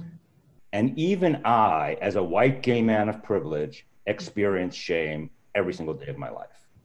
Um, because of generational effects, what have you. What I what I what I love about Mignon's comments, and I think there are real there are differences across the generations. I think that the younger generation, the generation that I refer to in the book um, as the queer generation, um, are able to verbalize these experiences of shame about the multiple identities that they hold in their lives in a way that my generation and the generation that preceded me did not. Mm-hmm. And I think there is an empowerment in the ability to verbalize that. There's an empowerment to stand up and say, I can be gay and black and exist in this world, right? I can be, you know, uh, female identified and Latina, Latinx and a dean of a school at the same time. And that's what I think is different, right? But the shame never really goes away because you from a young age i believe and this is something i've learned from my friend ellen short here is that we experience this feeling of otherness right? You know anybody who is lgbtq anybody anybody who's a member of any marginalized population it feels othered. And that what goes on from zero to five stays with you throughout your life. So i will tell you very frankly that when i first got to rutgers a few years ago there was a lot of turmoil in me internally because after 20 years at NYU, where I was an openly gay man, where everybody knew who I was, I felt like I had to become, I had to come out of the closet again and again and again and again. At 53, it was a little easier than 23, but still the experience harkened back to those really traumatic events in my life where I needed to disclose my identity in every context that I navigated. So, you know, shame is still there. And unfortunately, there are individuals in our society and in our political system who intentionally try to shame us because of who we are. Mm-hmm. Beautiful answer. And, and so many pieces, so many threads. I have notes here trying to pick up all the threads. Uh, so uh, feel free to uh, jump in if there's like, oh, there's something you want to talk about that you want us to pick up on. But one of the things, Perry, that I'm thinking about in relation to your comments, connecting with Ellen's and Jan's, is to take us toward a conversation about visible and invisible identity because we are very much talking about the ways that um, gay identity joins with other identities that create real similarities in experiences and ways that, uh, if I pick on racial identity, shape the experience of gay identity. But that story you told, Perry, of coming back out again, right? And you mentioned this in your talk as well about, and you challenged beautifully in your talk, heterosexuals to imagine what it meant to come out over and over again that's different for gay identity, right? And an invisible identity. When I walk into a room, I'm a black woman. There's no question, right? There, there, there's in my instance, um, there's less ambiguity. So can we talk about that for a minute? What does this visible and invisible identity have to do with kind of otherness, right? When we think about what what, what it means and how we move through space. Can I I, I, I thank you for raising that, and I think this like so I want let me first let me I want to add something that I actually wanted to say before, and I just want to on what you said, which is, you know, for me, this feel this, this feeling of shame and loneliness and marginalization that LGBTQ people experience and people of all marginalized identities experience are so linked to our health, mm. right? And so, you know, I'm RBHS right now. So to think that HIV is by chance happening in gay black men, it's ridiculous. It's not happening by chance. It's because black gay men are experiencing multiple stressors in their lives, living in contexts that perpetuate discrimination on many fronts, and they are more at risk for engaging in risk behaviors that perpetuate HIV, right? So it's like nobody wakes up one morning and says, you know, I'm an, I want HIV, or I want to be a meth addict, or I want this. I, am I'm, I'm over this behavioral stuff. Um, but you know, you, you allude to something in your in your question, which you know I want to sort of redirect and talk about this idea of like passing, mm-hmm. right? Right. Okay. And the dangers of passing and the, also the benefits of passing, right? And so I can pass as a white straight man, right? And I have used that maybe to my own harm mm-hmm. over the course of my life in order to navigate spaces. And for other folks who don't have my skin tone, who don't have my, you know, body type, it's much more difficult to pass. And so, what I think is really incredible about the younger generation, I think Mignon uh, again referred to this like wonderfully, is that um, many of them don't want to pass, mm. right? And they refuse to pass or to cover, right? And so what we need to do is so they've got the tools. We've got to work on our institutions mm. that allows individuals who are diverse in these multiple fronts, who like you know, like I, I write in the book about about Yao, which is and even even my own like issues around the stuff. Yao, Ghanaian man, strapping, big, walked into the interview room, right, sat down, and he had the most beautiful yellow polished nails I'd ever seen in my life. And I was taken aback mm-hmm. because that was my own stuff about gender identity that was coming out in that in, in that interview. Mm-hmm. And so if I'm feeling that, right, me, mm-hmm. um, I can't imagine what's going on, you know, to, in his experience in the rest of the world. So the change has to happen. Yes, it's happening internally for us. It has to happen institutionally. Mm. Nothing will get better. So much. We're going to come back to both sides. Go ahead, Ellen.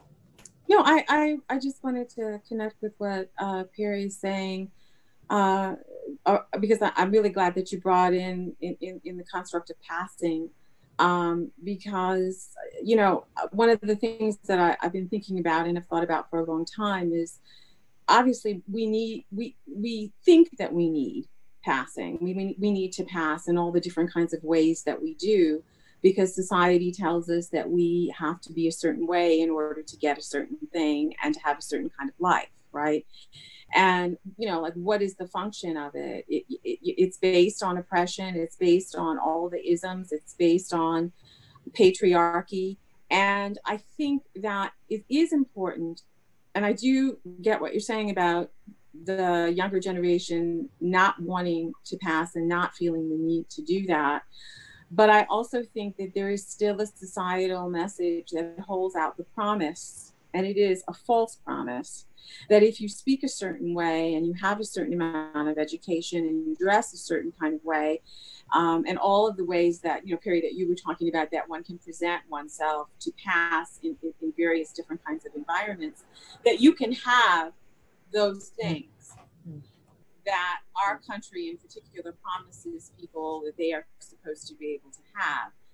And we know that that's not true just on the basis of people who have black and brown skin who can have all of those wonderful things and all of those wonderful attributes and still be uh, assaulted uh, by the police, uh, uh accused of criminal behavior by a passerby who happens to be white uh, you know, so so I mean, there is there is that as well uh, in terms of, I, I think that that's the that's the false promise of passing that's the lie of passing. But then i also think that there is an i'd like us to in, in some ways think of passing and also even sometimes closeting behavior as adaptive. Mm-hmm. you mentioned that. So you know I think of it as adaptive. Everybody does it. We all do it. And sometimes we do it because um, we need to get through the day, right? We need to get through the day without having a microaggressive incident. We need to get through the day and do our job or go to school or whatever it is that we're doing, take care of our families and come home at night safely. Mm-hmm. And that's why we, you know, we do it voluntarily or involuntarily because you can't control what people think you are and what, you know, and, and again, the projections that people have of you. Mm-hmm. And then sometimes, you know, on that continuum, we do it to save our lives. Mm. So I do think that one of the things that we really need to do is is, is re- and, I, and, I, and I'm sure that there is uh, research being done on this. I, it's not the research that I do. I, I tend to focus more on group dynamics in relation to those things. But I think that there there does need to be more of an examination of passing, not necessarily being pathological, and closeting behavior not necessarily being in any way uh, disordered or pathological, even though it may come from trauma, but that it is also adaptive to the human being, to the human experience to do it. So that's that that's something that I really feel strongly about. You know, I don't mean to interject, but I just want to add something really quickly to what Ellen said because I'm 100% on board with what, what you were saying, Ellen. And I think you're right. Passing pa- cuts both ways, right? And I want to mm-hmm. also just, you know, think about Pete Buttigieg for a second, right? Mm-hmm.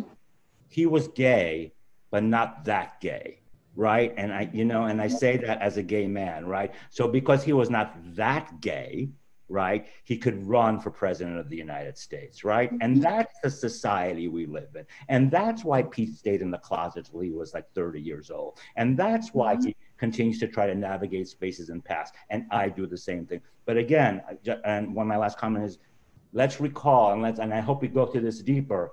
There are many people in our world who don't have the privilege of the closet mm-hmm. right? Who can feel safe. And, and there are many people in the world who unfortunately are forced out of the closet because others victimizing behavior. Mm-hmm. Mm-hmm. I, I have a, a comment that is a little uh, a little bit different. Go for it. Uh, thinking about intraracial dynamics. So mm-hmm. how you mm-hmm. um, experience being LGBTQ in your racial and ethnic community. And I have an example from my research that I think would be of interest. Please. So, in some of the work I did in Los Angeles, uh, I was examining how um, an organization formed called Black Gay Here to Stay. And it was um, younger people, I'd say in their 20s and 30s, who were going to march uh, as part of a, a, a series of protests going on at the time they were going to, to march as an openly gay um, organization in the in the um, Martin Luther King Day parade. Right, so many cities have a parade like this. A, it goes through black neighborhoods, and this will be the first time in this yearly parade that goes down Crenshaw. We're going to have these signs up, you know, with to to acknowledge these people as as black and gay. And um, so I followed this group over two years, and uh, we people you know we talked about the different things that people expected and, and what they found. And so one thing that i think is relevant here is the visi- is becoming visible within your ethnic community the fear in that and how sometimes the community is accepting and sometimes it's not accepting. And so there are examples in this research where it's not accepting where people are threatening physical harm. And then there are times when people are accepting, uh, such as in this march. This was right after Obama was elected. There was a lot of unity that day. And I wanted to share with you what a young woman said, you know, in, after the march. Um, if I can share, I'll be able to share the screen. So she says, in, in, in this march, there was still, can, can you see it? Yep, we can. There was still some part of me that felt a little bit of fear she's talking about marching openly down Crenshaw with these signs. Mm-hmm. Maybe be, maybe it was a bit of shame in the moment because I think I have come so far, but then you have to confront them, meaning other black people. I think it's a beautiful thing when people can get past their internal homophobia and your internal shame that you don't think still needs to be cleansed and thrashed out and put back together. Mm-hmm. He says these people, those those people out there, a lot of times are our friends and family members, cousins, people we are going to see tomorrow night. We have to deal with the fact that we are now representing this facet of the community, right? So it's this. They're not saying we're going to we're representing this other group. They say, well, we're representing this part of who we all are as a collective. And then she ends with, "That's just I am happy to grow." Mm. So I share that because you know these are these are the things that people are negotiating when um, when I don't want to say demanding acceptance because it sounds really aggressive, but just insisting that this is that that we are part of this community and and this is part of who we are. And just like you want us to help um, advocate for the new science center for high, you know, for for children after high um, after school because the children need a science center, and and I don't have any children, but as a member of this community, um, you know, I want more more programs for Black children. I want you. I want you to now help advocate for me when I want um, when I need some resource that relates to my um, my sexuality. And so it's this negotiation mm-hmm. that's taking place in the, in the process of becoming visible that I think is important here. So just brilliance all around um, from all of you that I so appreciate we're talking about passing visible and invisible identity, notions of the closet broadly, but I want us to talk about the closet like as, as a construct uh, really concretely for a moment because it's coming up. Um, but but let's talk. The, the symposium is called Life After the Closet. Um, in particular. And there's an image pairing your talk where you have a black girl peeking from behind a door where there's a rainbow behind her um, that I thought was really illustrative. And in the image for this talk, we've got an open door with a rainbow um, coming out. But there's this choice of kind of how we negotiate the closet. And Mignon, what I heard in that quote was Sister Muhammad, I believe, was her name, talking about being in the community, but choosing to, prior to holding up that sign, being a member of that community in a closeted form, right? And so, what is the utility, right, of the closet? She's offering one and and is raising kind of the challenges of coming out. But but let let's have that conversation. What's the role of the closet in terms of how people choose to use it? Ellen, you said before that rather than thinking about it as pathological, that we can think about it as adaptive. So if we go with that frame, there are protective elements there are oppressive elements. How do we think about that? How are you all thinking about that in the context of your work, please? Um, I, I think I would say that I want to refer to um, Anna, the article that you uh, sent yes, us. Please go for it. Uh, yeah, I thought was really interesting. The author was um, sort of in a sort of nostalgic way. Um, even though um, he understood the consequences of closeting himself and the trauma that um, he well the trauma always comes before the behavior in this in, in what we're talking about but the, the consequences of that uh, closeting behavior but but what i really thought was so interesting about it was just the reflection of it mm-hmm. and um, then coming to his realization through he did sort of like a little qualitative study mm-hmm. in reaching out to other men um, who were they themselves closeted you know coming to the conclusion at the end of the article that yeah there might be some things that i think i missed but maybe i'm just fantasizing about mm-hmm. that because the consequences of it are so great that um, i'm better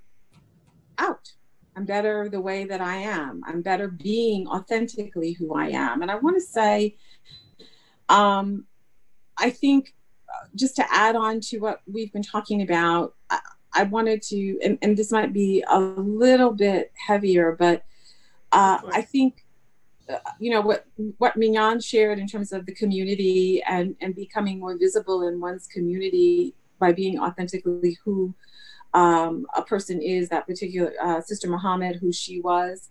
Um, I think that there's also things that we have to think about with, with relation to intergenerational mm-hmm. issues related to trauma and also very much related to um, closeting behavior. So for example, one of the things that's coming up for me is, you know, you, you know how sometimes you ask your, I don't know if you, if you if you know this, but sometimes you can ask a client or a patient to do a genogram mm-hmm.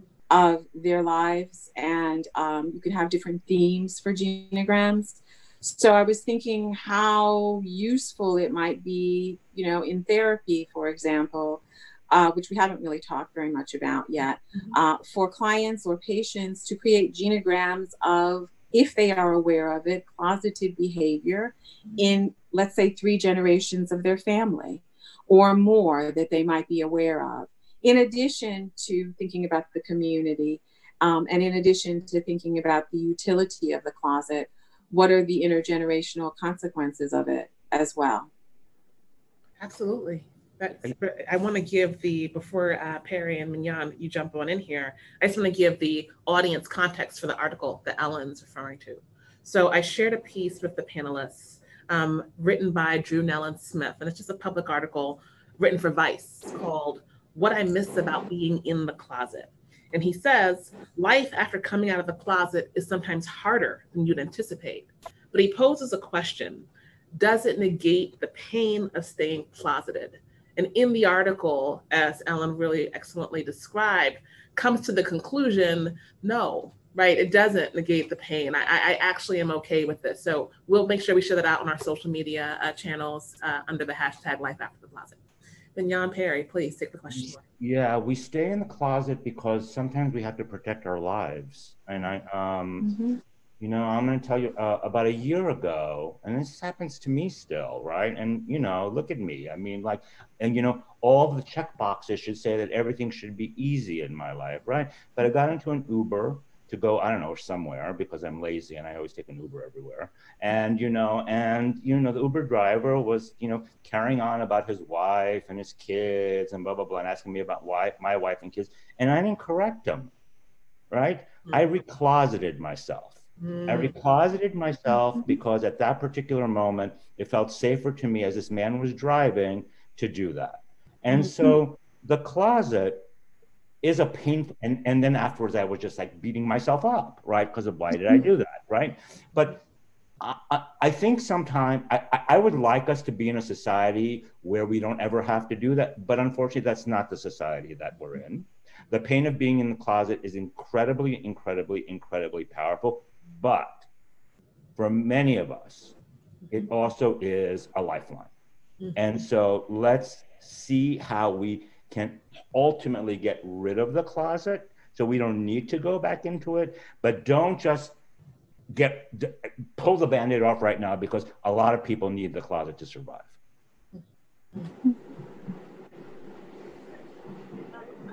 thoughts about this that are um, not so much an either or being in a closet or out of a closet but more uh, and this is coming from the experiences I've had with with my the people that I've written about and studied and talked to. Uh, when, uh, how do I say?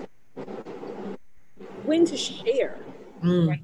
I mean, I I could imagine a straight person in that Uber not sharing just because they don't want to share. Mm-hmm. They don't want to talk to this person. Right. Um, you know, um, maybe there's a fear connected to safety if it's a woman or maybe not but um, when i think about uh, there's an 83 year old man in my book that i'm working on now a, a black man who has lived through everything that a, a, black gay man would have lived through in, in new york uh, he was one of the men who used to roller skate you know back in the 70s when you'd see a bunch of uh, guys up and down manhattan on roller skates he was part of that group and in my family, it's noteworthy because um, he's my uncle.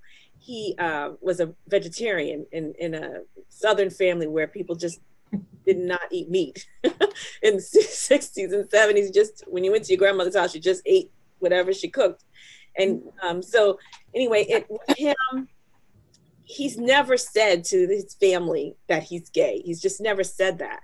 Mm. We all know that he's gay, and um, he makes little subtle references but he has never said it and what does that mean right does that mean he's in the closet mm-hmm. um, i've been trying to work on this concept uh, of what it means and how you express your sexuality and what it means for different generations and what it means in different moments in different moments in a, in a temporal sense whether it's late at night or, or on a sunday morning you're going to get bagels what it means in historical sense, right, in different communities in different eras, uh, but even for um, what it means for you as as as a person and understanding your power.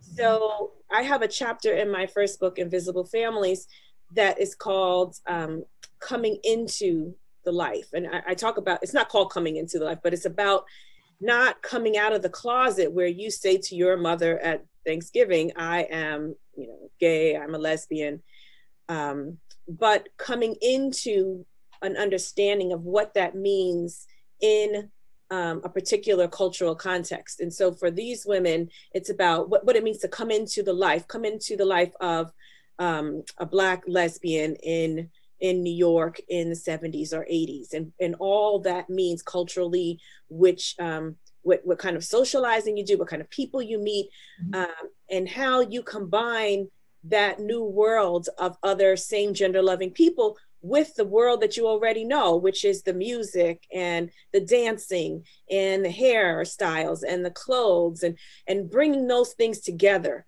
to create something that is that is um, felt deep inside that comes from years of of a cultural or historical experience, and then also um, being able to be free, freer in in who you love. And so um, that's another way to think about this, rather than coming out, coming into a life that has these has these um, different components that allow all of these things to come together in interesting ways for you.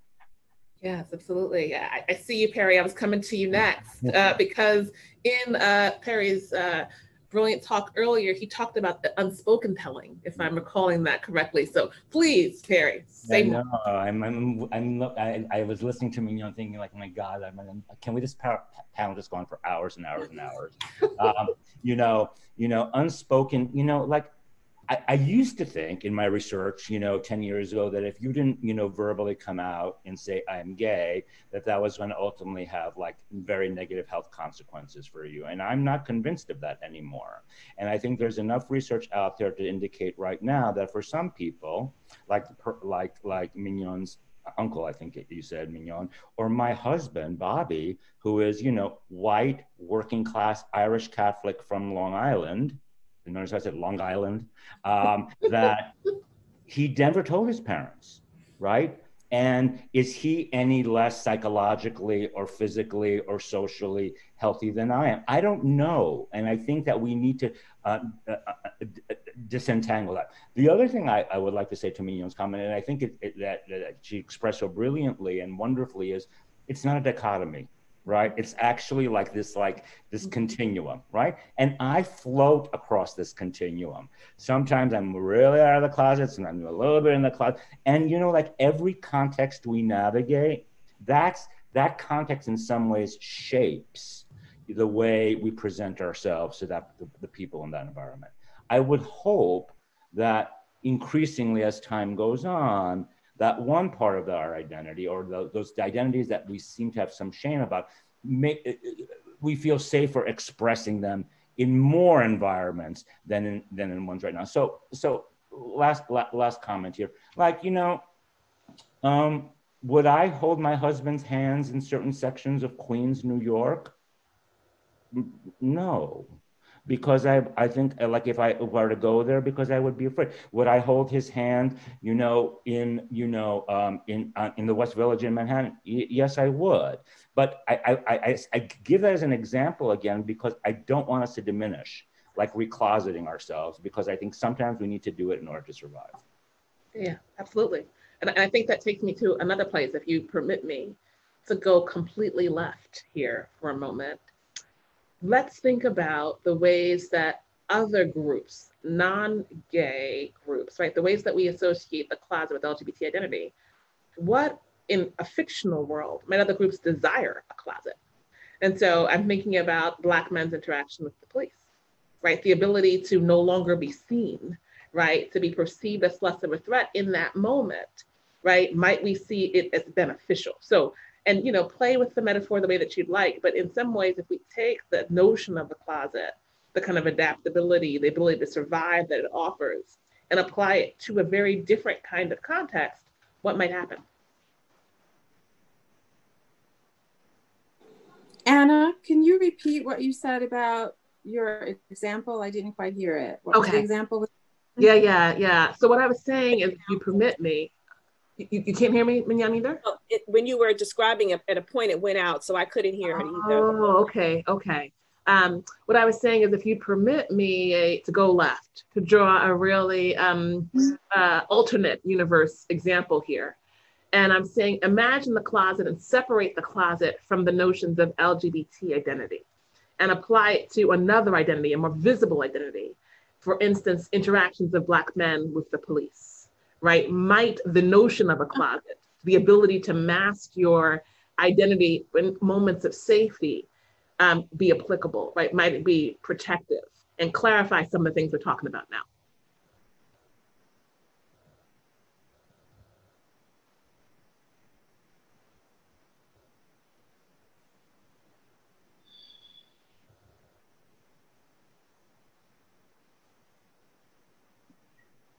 That's a, a, a I, I remember you did ask that question in your email, and I, I, I thought about it.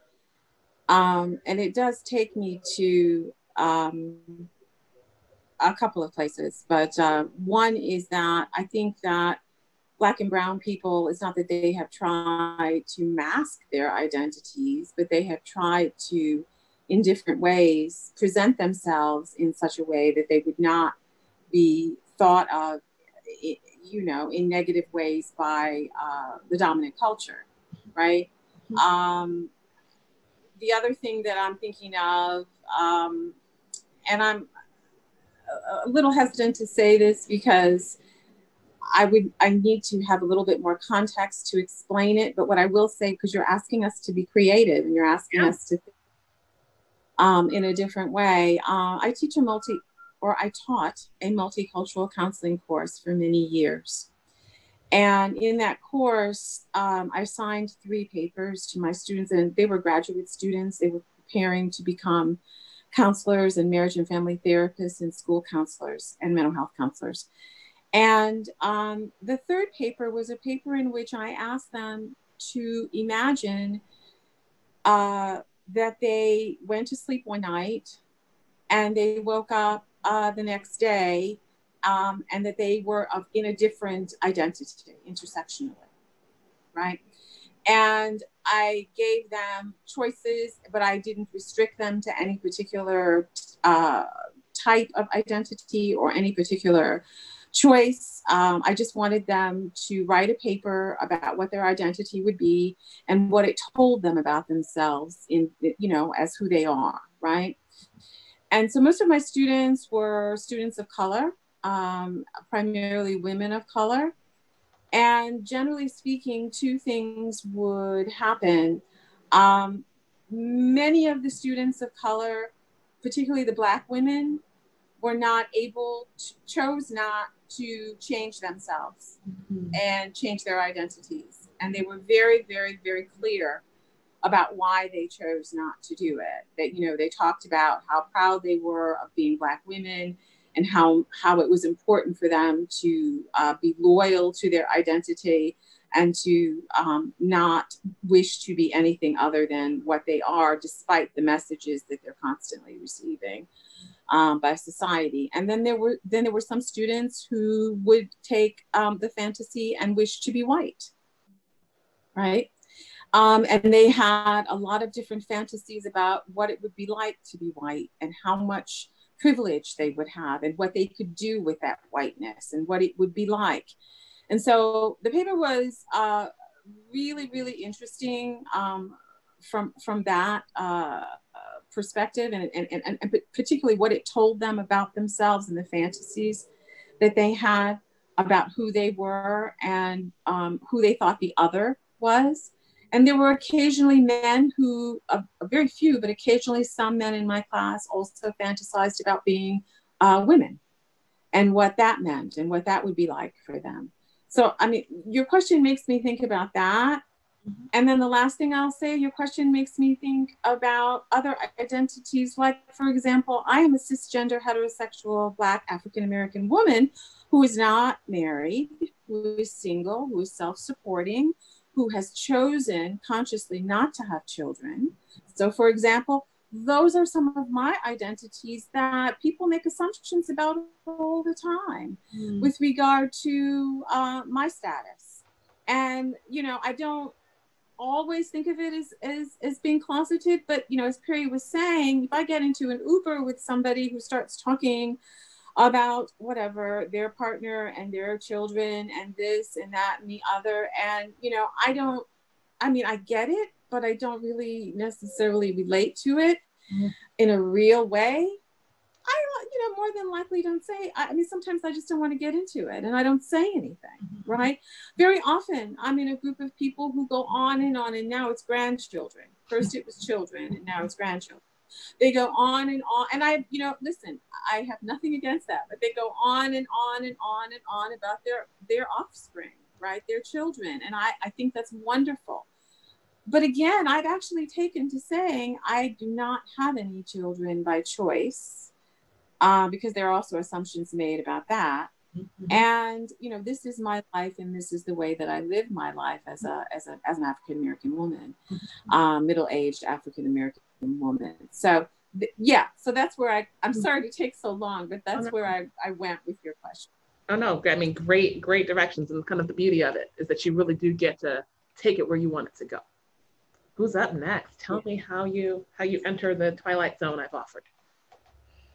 I was so appreciative of Ellen's remarks because as you asked that, Hannah, I was thinking, I just don't, I just, I don't know. I mean, I feel like the Black women who were students in Ellen's class, um, theoretically, I could see how you might want to hide a, a stigmatizing identity in, in, in, in a, a context where that identity can end up threatening your life but I can't see that I would do it if I had.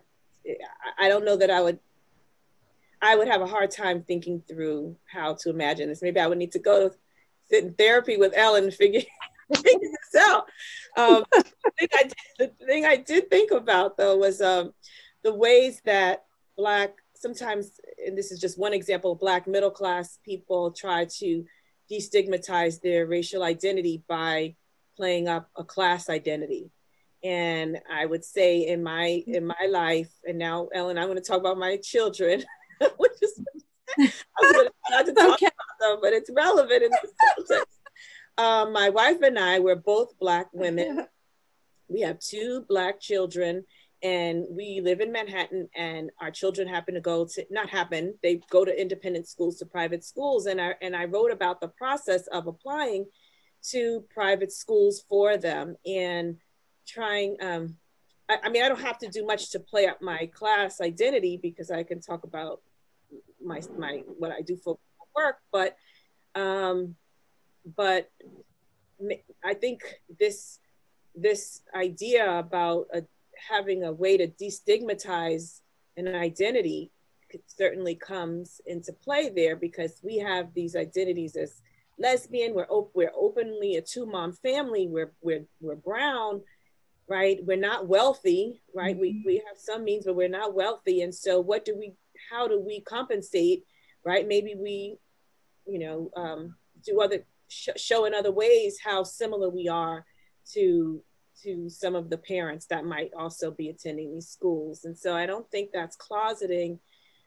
But and it just made me think about how people might in the in an example of, of, of the context that Hannah describes with the police try to try to destigmatize or, or create another way mm-hmm. for that group to see see the group see your group mm-hmm. yeah and, I, am so grateful for this conversation again. I can't thank you enough, but I want to I want to veer it a little bit in a little slightly different direction, which is to bring it back to the LGBTQ population.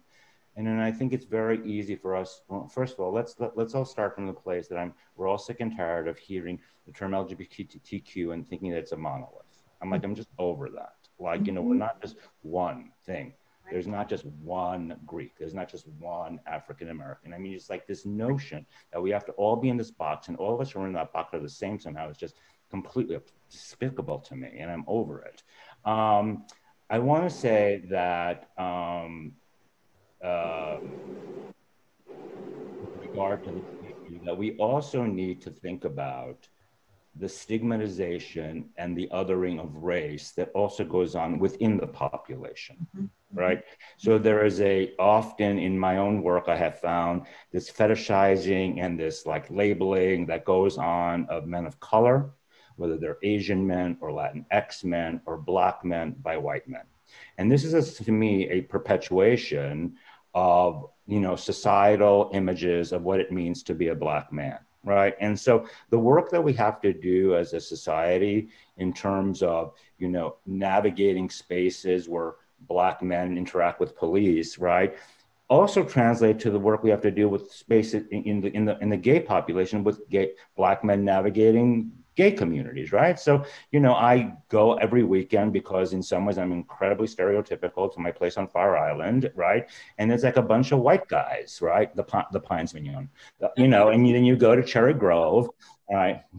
I know you don't appreciate that. And you go to Cherry Grove and it's not a bunch of white guys, right? And there's just like this segregation that goes on even within the population itself. So, so, um, you know, uh, or we think about the other stigmatization that goes on of me as an older man or somebody as a potentially slightly overweight man, or somebody as a, a slightly sh- shorter individual. And those kind of isms that, that gay men and lesbians and trans folks experience from society at large exist in our society, in our own population. And I'll tell you with this long last thing. About two years ago, and this is the, this is always it blows my mind. Two years ago, I wrote a, an editorial for the Newark Star Ledger calling out the racism in the LGBTQ population. And when I went to work the next day, people said to me, I had no idea.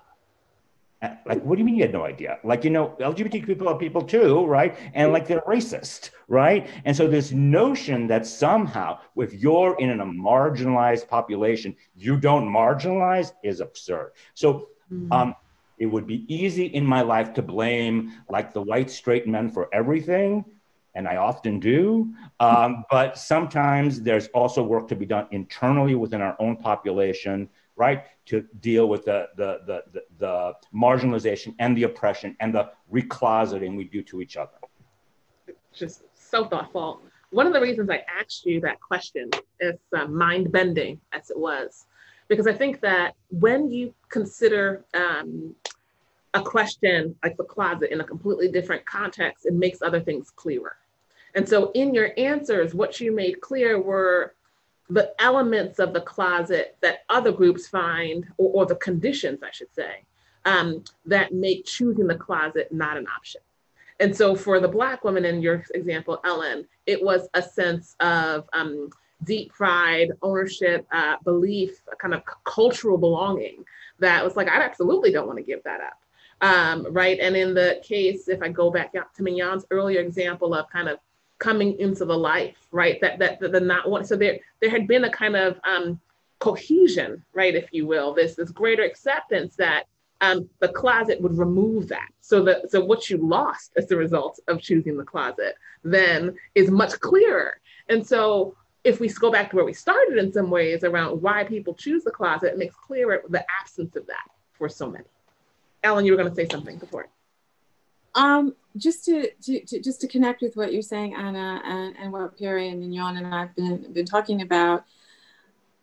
This is I have this is just I, I love this show, so I have to say it um, because it fits in exactly with what we're talking about. I've been watching um, Lovecraft Country um, on HBO, and uh, so Randy and Hannah, do you have you been watching? I heard yeah. lots about it, but I have not watched it yet. Okay. The I tell you, some of the episodes really delve into what we've been talking about today mm-hmm. about identity, passing, and closeting behavior and trauma, mm-hmm. racial, mm-hmm. racialized trauma, mm-hmm. um, what Janet Helms would call, um, you know, ethno-violence um, and intergenerational trauma due to racism, but also the fantasy, because it's Black uh, science fiction, mm. right? I'm not really into science fiction, so I needed there's podcasts that explain, you know, what certain things are afterwards. But um, if you know, if you think about Get Out and Us yep. with Jordan Peele, it's in that it's in that genre, yep. right? Yep. And so I'm just I'm, I'm I'm just so resonant with it right now with this conversation. I encourage you, if you all have time, to check it out because it really does, and it, it also speaks to um, uh, gay men in particular and uh, closeting identity and race. Mm. and it's very powerfully done. So it's it's it's it's an excellent series. I really like it. So i just wanted to to to say that because it's making me think a lot right now about what i've seen on that show we're talking about. Absolutely. Mignon i see you smiling. What are you thinking about? No, no, no. I, I keep wanting to watch it. now, now you have an academic reason. You must connect it to your body of research to enlighten the masses. But, but, but, but, you know, Ellen points to like this reality, right? Which is like art always is ahead of the game, right? Like art, like, you know, we need art to show us the way. And then we as scholars eventually catch up. And then, you know, I guess scientists, and then society catches us. So, you know, this is, you know, what I think is so great about. And I'm going to do a pitch for our university for a second here, right? What's so great about our university is this is ability to do this really, really interdisciplinary work, right? Because when you bring Mason Gross and the School of Public Health together and psychology together, then you get to something that's really a reflection of these multiple disciplines working to understand humanity. And I think the arts just do that really, really, really, really well. Absolutely. And I think that the, and I, and I love the concrete illustration, Ellen, of what my uh, question tried to do in a much more um, amateur sense, right? Which is let's shift gears for a moment and think about something in a way we wouldn't normally think about it and see what it shows us, right? Because our, the ways of uh, the typical ways, the way that we began our conversation, understanding the closet, and in some ways, the ways of the public narratives around the closet are kind of oversimplified. This conversation alone has kind of deepened and exposed contours in the way that we think about um, understand the closet um, that I just think are so incredibly rich.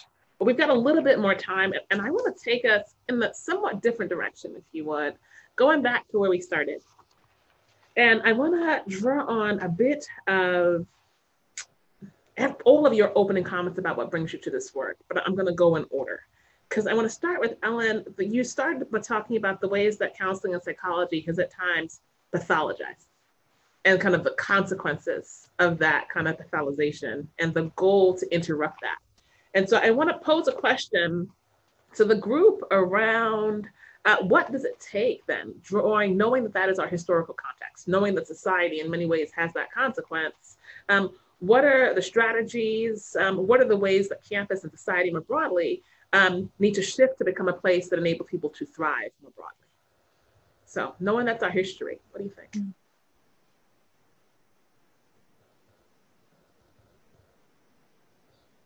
Um, I, I think just using oh, Alan Spiegel and just using the example of um, the field of counseling and psychology.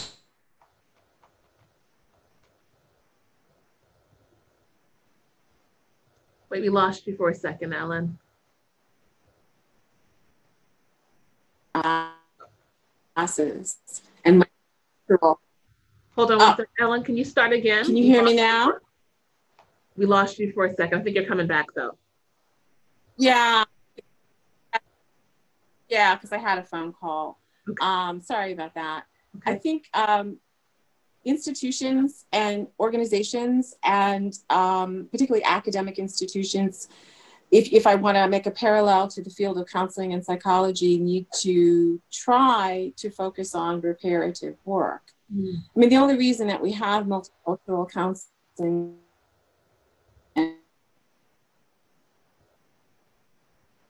harm. Ellen,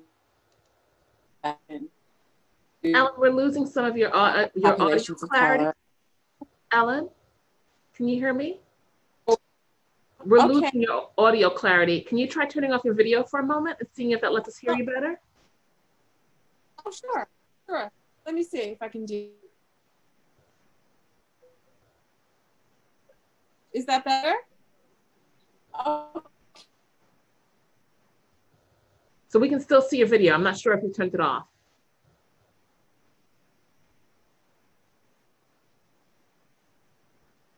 Okay. Can you try talking one more time? Can you hear me now? Yes, we can. I'm sorry about that. Um, let me let me start the video again. Can you hear me? Yes, we can. Okay. Um, I just really was just trying to say to make a parallel uh, um, to, to the field of confidence to think about levels of embeddedness and systemic resistance, basically. Mm. Mm. Um, just to say really quickly, uh, levels of embeddedness really have to do with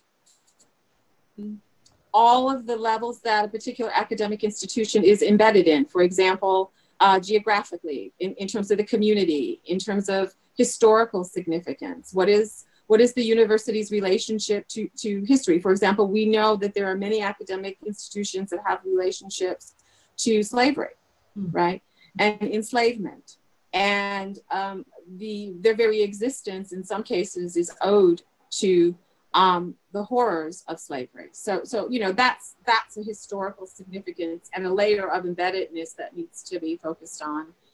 And um, in terms of the systemic resistance, I just think it's really important to understand that systems resist change. I mean, you know, we can kind of talk about it, and academic institutions are really good about making mission statements, which are really important, and having committees, which are also really important, and hiring people who um, focus on those particular issues diversity, inclusion, um, equality, all of those things. Um, but I think implementing them and understanding that they will be resisted because people fear the change that they bring is really important. Sorry for all of the interference with the internet, but that's that's kind of um, what I wanted to say about that. No problem. We got you. Other takes, Perry, Mignon, and I can give you the prompt again if you need it or, or just dive in. Well, I was thinking about Ellen's comments and um, and Columbia, where I work, and I work also at Barnard College. Um, uh, and it is very hard to change the culture of an institution. It takes a very purposeful acts. and, you know, even then, there are just so many forces working against that that the change is incremental and usually comes at great cost and often comes in a moment of crisis where you're just forced to do something. Because it, you know because structures especially you know people who are advantaged by them aren't they're reticent to give them up and they just don't see why you need to change or they disagree with the need to change. And so um, i think I've tried to approach change kind of in an by you in my work, I've tried to approach change by using mainstream methods to study a marginalized population and uh, thereby allowing people who have no interest in the population to still see the sociology in the work, to value the sociology in the work, and then to use that as a way to change, um, to move forward a body, a, a subfield several subfields in my discipline. Um, when I think about Columbia and the reticence of Columbia to change um, from white male dominance, I see the students who just think differently. And I was a I was an undergraduate at Columbia, and I think that the students in this generation are saying we don't care. We don't care about the history, we want it to change. We think this is wrong. We want it to change. Whereas in my generation, we said, yes, this is horrible. Is it, you know, all of this focus on European history is, is terrible. And we wish there was something else. These students are saying, oh no, there has to be something else. We, we insist. And it makes me say, whoa, you know, you're, you're going to tell the school this, but they're saying, you know, they're, they have a different, they have a different relationship to to to hierarchies mm-hmm. than even my generation mm-hmm. and um, it's kind of hard right when when when when the student says to you this is you know columbia university is named after christopher columbus and what does that mean right it's hard it, whereas I, I think i as a student i would have been afraid to tell president bollinger or something like that i just wouldn't have been able to do that and they're able to do that and so even if the the university doesn't want to change, how are you going to answer these questions? These very and it's very public questions, right? We have a different social world where these questions are are happening, not in not behind closed doors. And so, so so change is an iterative iterative process. It comes in fits and starts, um, but there is this when there's a driving force. It may not happen right away, but those um, so I would like to think the work that my generation did were to create a crum- some crumbles, right, to to to dislocate the foundation, mm-hmm. and then the next generation comes and shakes that foundation that's already begun to crumble or shakes the facade mm-hmm. and in, in pieces it comes down or it changes thank you enough i just wanted to just quickly connect with what mignon was saying. Um, just really quickly just to, to to connect with i think that's also happening in the larger society as well with regard to changing the names of buildings changing uh, pulling down uh, statues of white men who have perpetrated crimes on humanity, even though they have also been viewed as doing very positive things. And I do think that that is part of the larger um, structure um, in terms of our society, making these sort of small incremental changes and refusing to go along with the status quo that we've been going along with for so long. So I appreciate your, your comment. It reminds me of that. Mm-hmm and and, and thank you both for your comments. And I'm gonna I'm gonna say this from a place of you know frustration, but also hope, right? Which is enough, mm-hmm. right? So you know I say that you know as a, an act up guy who like screamed and yelled and threw himself on the street, right? Because we didn't want to die, but at the never really gave up hope that we were going to get through this. But I will tell you that I do also, like Mignon, have hope that the, what we did is going to give power to a new generation, right? To actually question things. Like, you know, Mignon and I probably read the same damn books in like the core of literature humanities. I was like, Greeks again? And like, I'm a Greek, but like, come on, man. Like, enough of the Greeks, right? right? So, so let them push it and change lit humanities and music humanities and CC and all of that stuff. So it's inclusive of the world. But I will say to you that we even, Hannah, we have work to do here at our institution. You know, when I first came here and we decided we were going to have a concentration in LGBTQ health, right? The world's first concentration, you know, an individual said to me, a colleague said to me, oh, people are saying there's too much LGBTQ at the school. And I said, what the F does that mean? Right. And, you know, and that kind of aggression goes on all the time. And so we need, yes, academic, academia is really hard to change, but you know what? I'm done. And I think those of those of us who are who are part of this conversation today, those of us who are in a leadership role, those of us who look like me, have a responsibility to say enough. You know what? The guidelines for promotion and tenure are racist. And I'm going to say that till the day I die.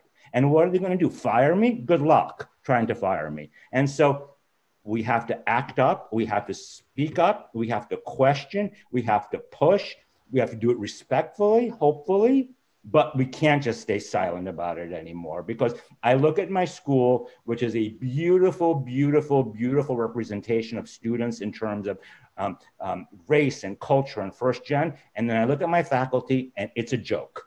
And it's a joke because I can't hire people that look like America because of the restrictions that are placed upon me about how I am, how I uh, recruit and how I retain people. So we have to fight around these issues, and it has to happen now. And I think what we saw last, I'm going to say it, what we saw last night, you know, on the television, on the MSNBC or the CNN or whatever you watched, was, uh, you know, the, a, a representation of like the last days of the Roman Empire, trying to mm-hmm. hold on to that last inch of power before everything changes. So my hope in this is that this is the last thing before things change.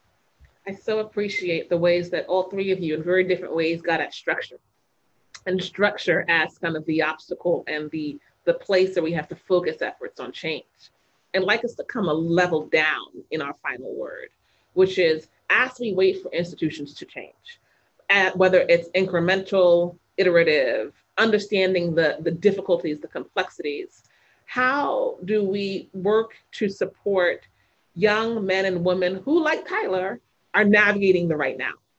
What are your words around what needs to happen to ensure that there is a sense of um, safety, right?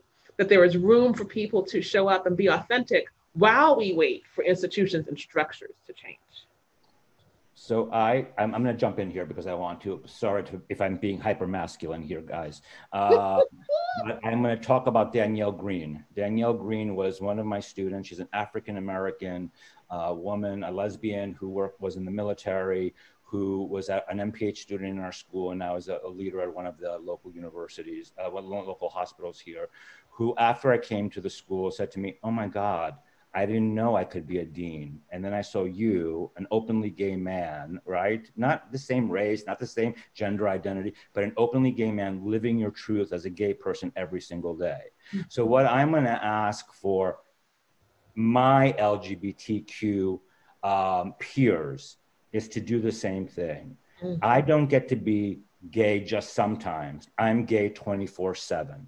And mm-hmm. so, the more I am my authentic self, and the more I realize that as a gay man, I am not also the sole representation of the LGBTQ population and own that and say that, the more students like Tyler and students who look different or are, are different from Tyler will feel safe in their spaces.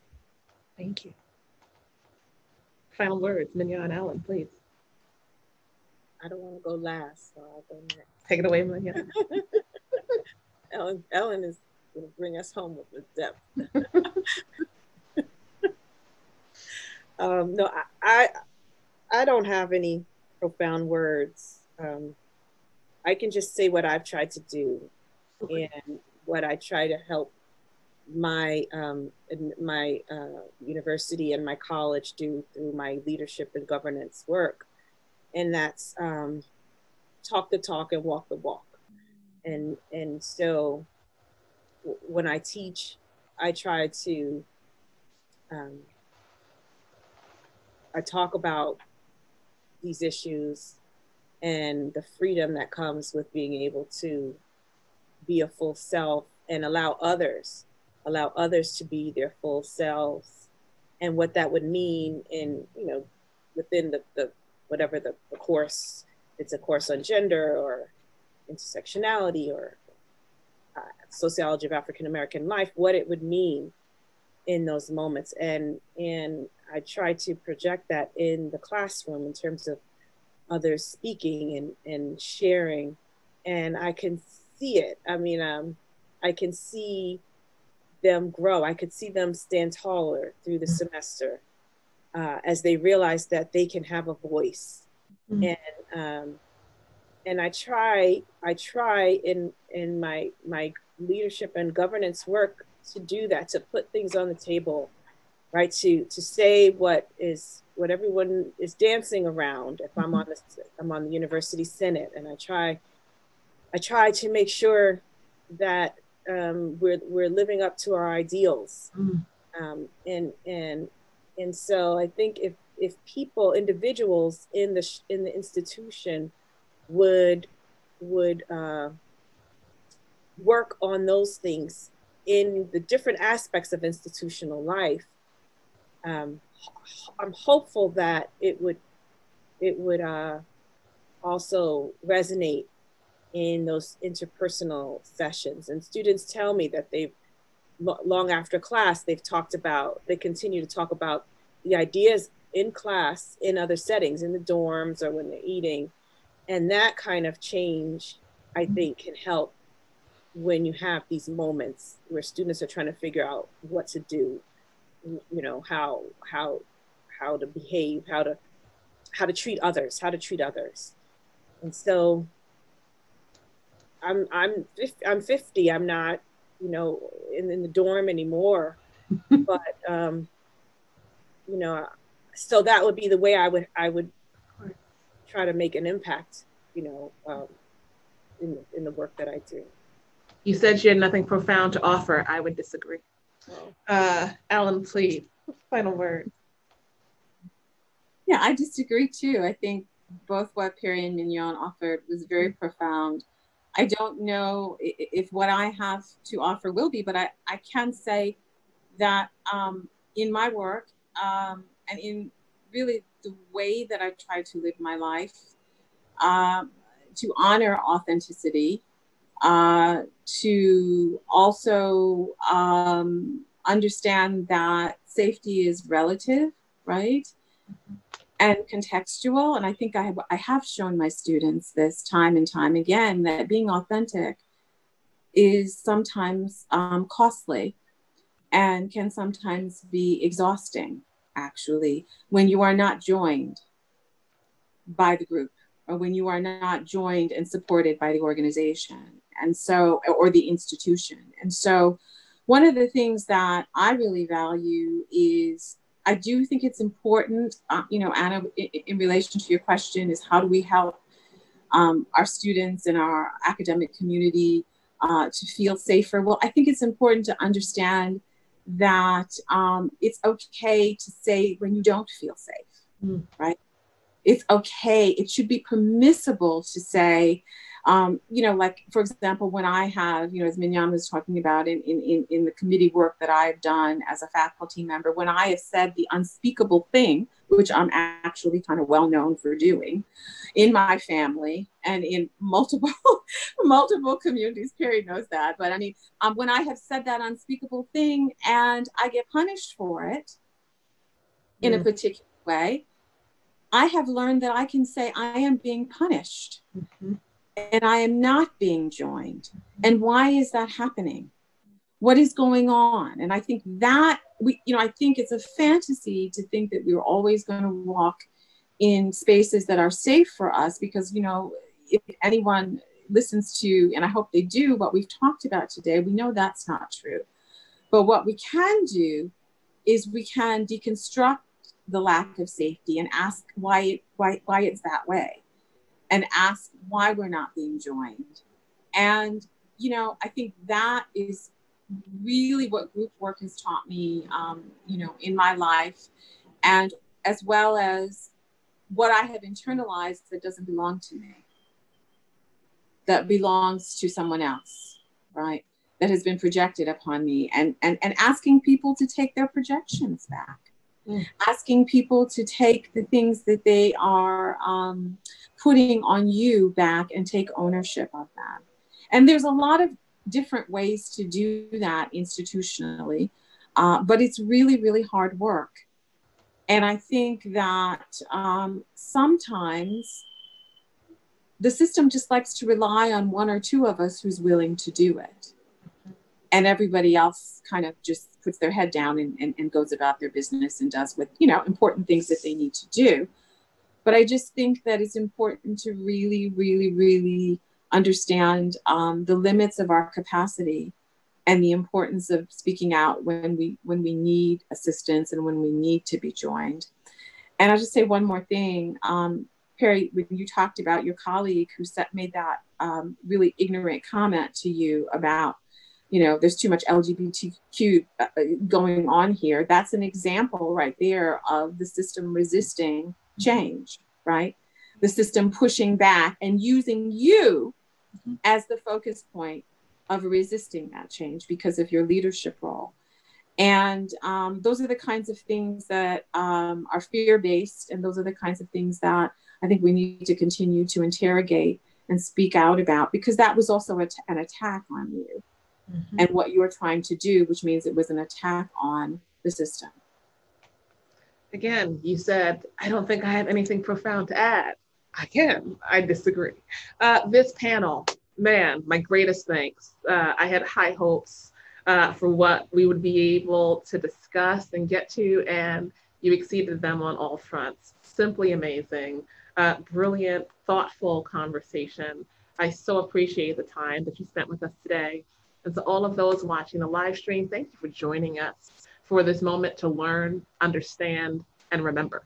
Our aim was to reflect on Tyler's life, but to use it as a moment to imagine the path forward.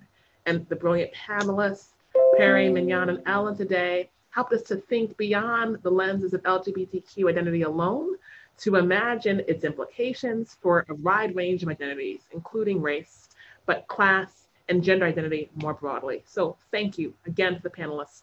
Thank you to all of us for joining, to all of you for joining. And we're going to close now with a video from Rutgers talking about the ways that the university itself has changed in the last 10 years to take steps that we've talked about to become a more inclusive and welcoming climate, to take steps to hope, right? We can't guarantee, but to take steps to ensure that students like Tyler who come to Rutgers don't experience, don't have the same experience that he did.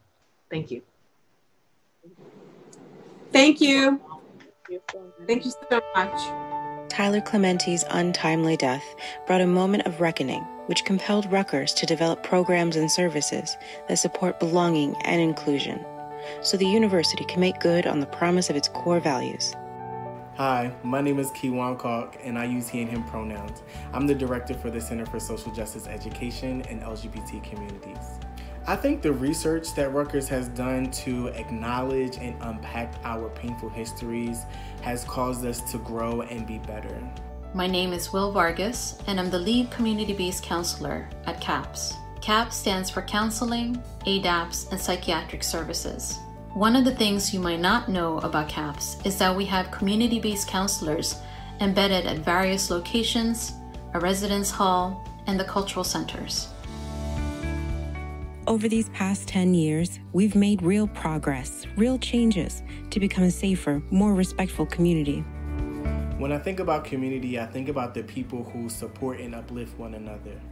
It is with those same people that we find education, empowerment, as well as are able to be brave, courageous, and our authentic selves.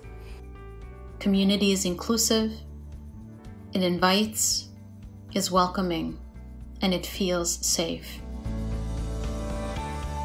Rutgers is its best when you can be you, and you can be you, and you can be you. We're better as a community, and our work will never be done.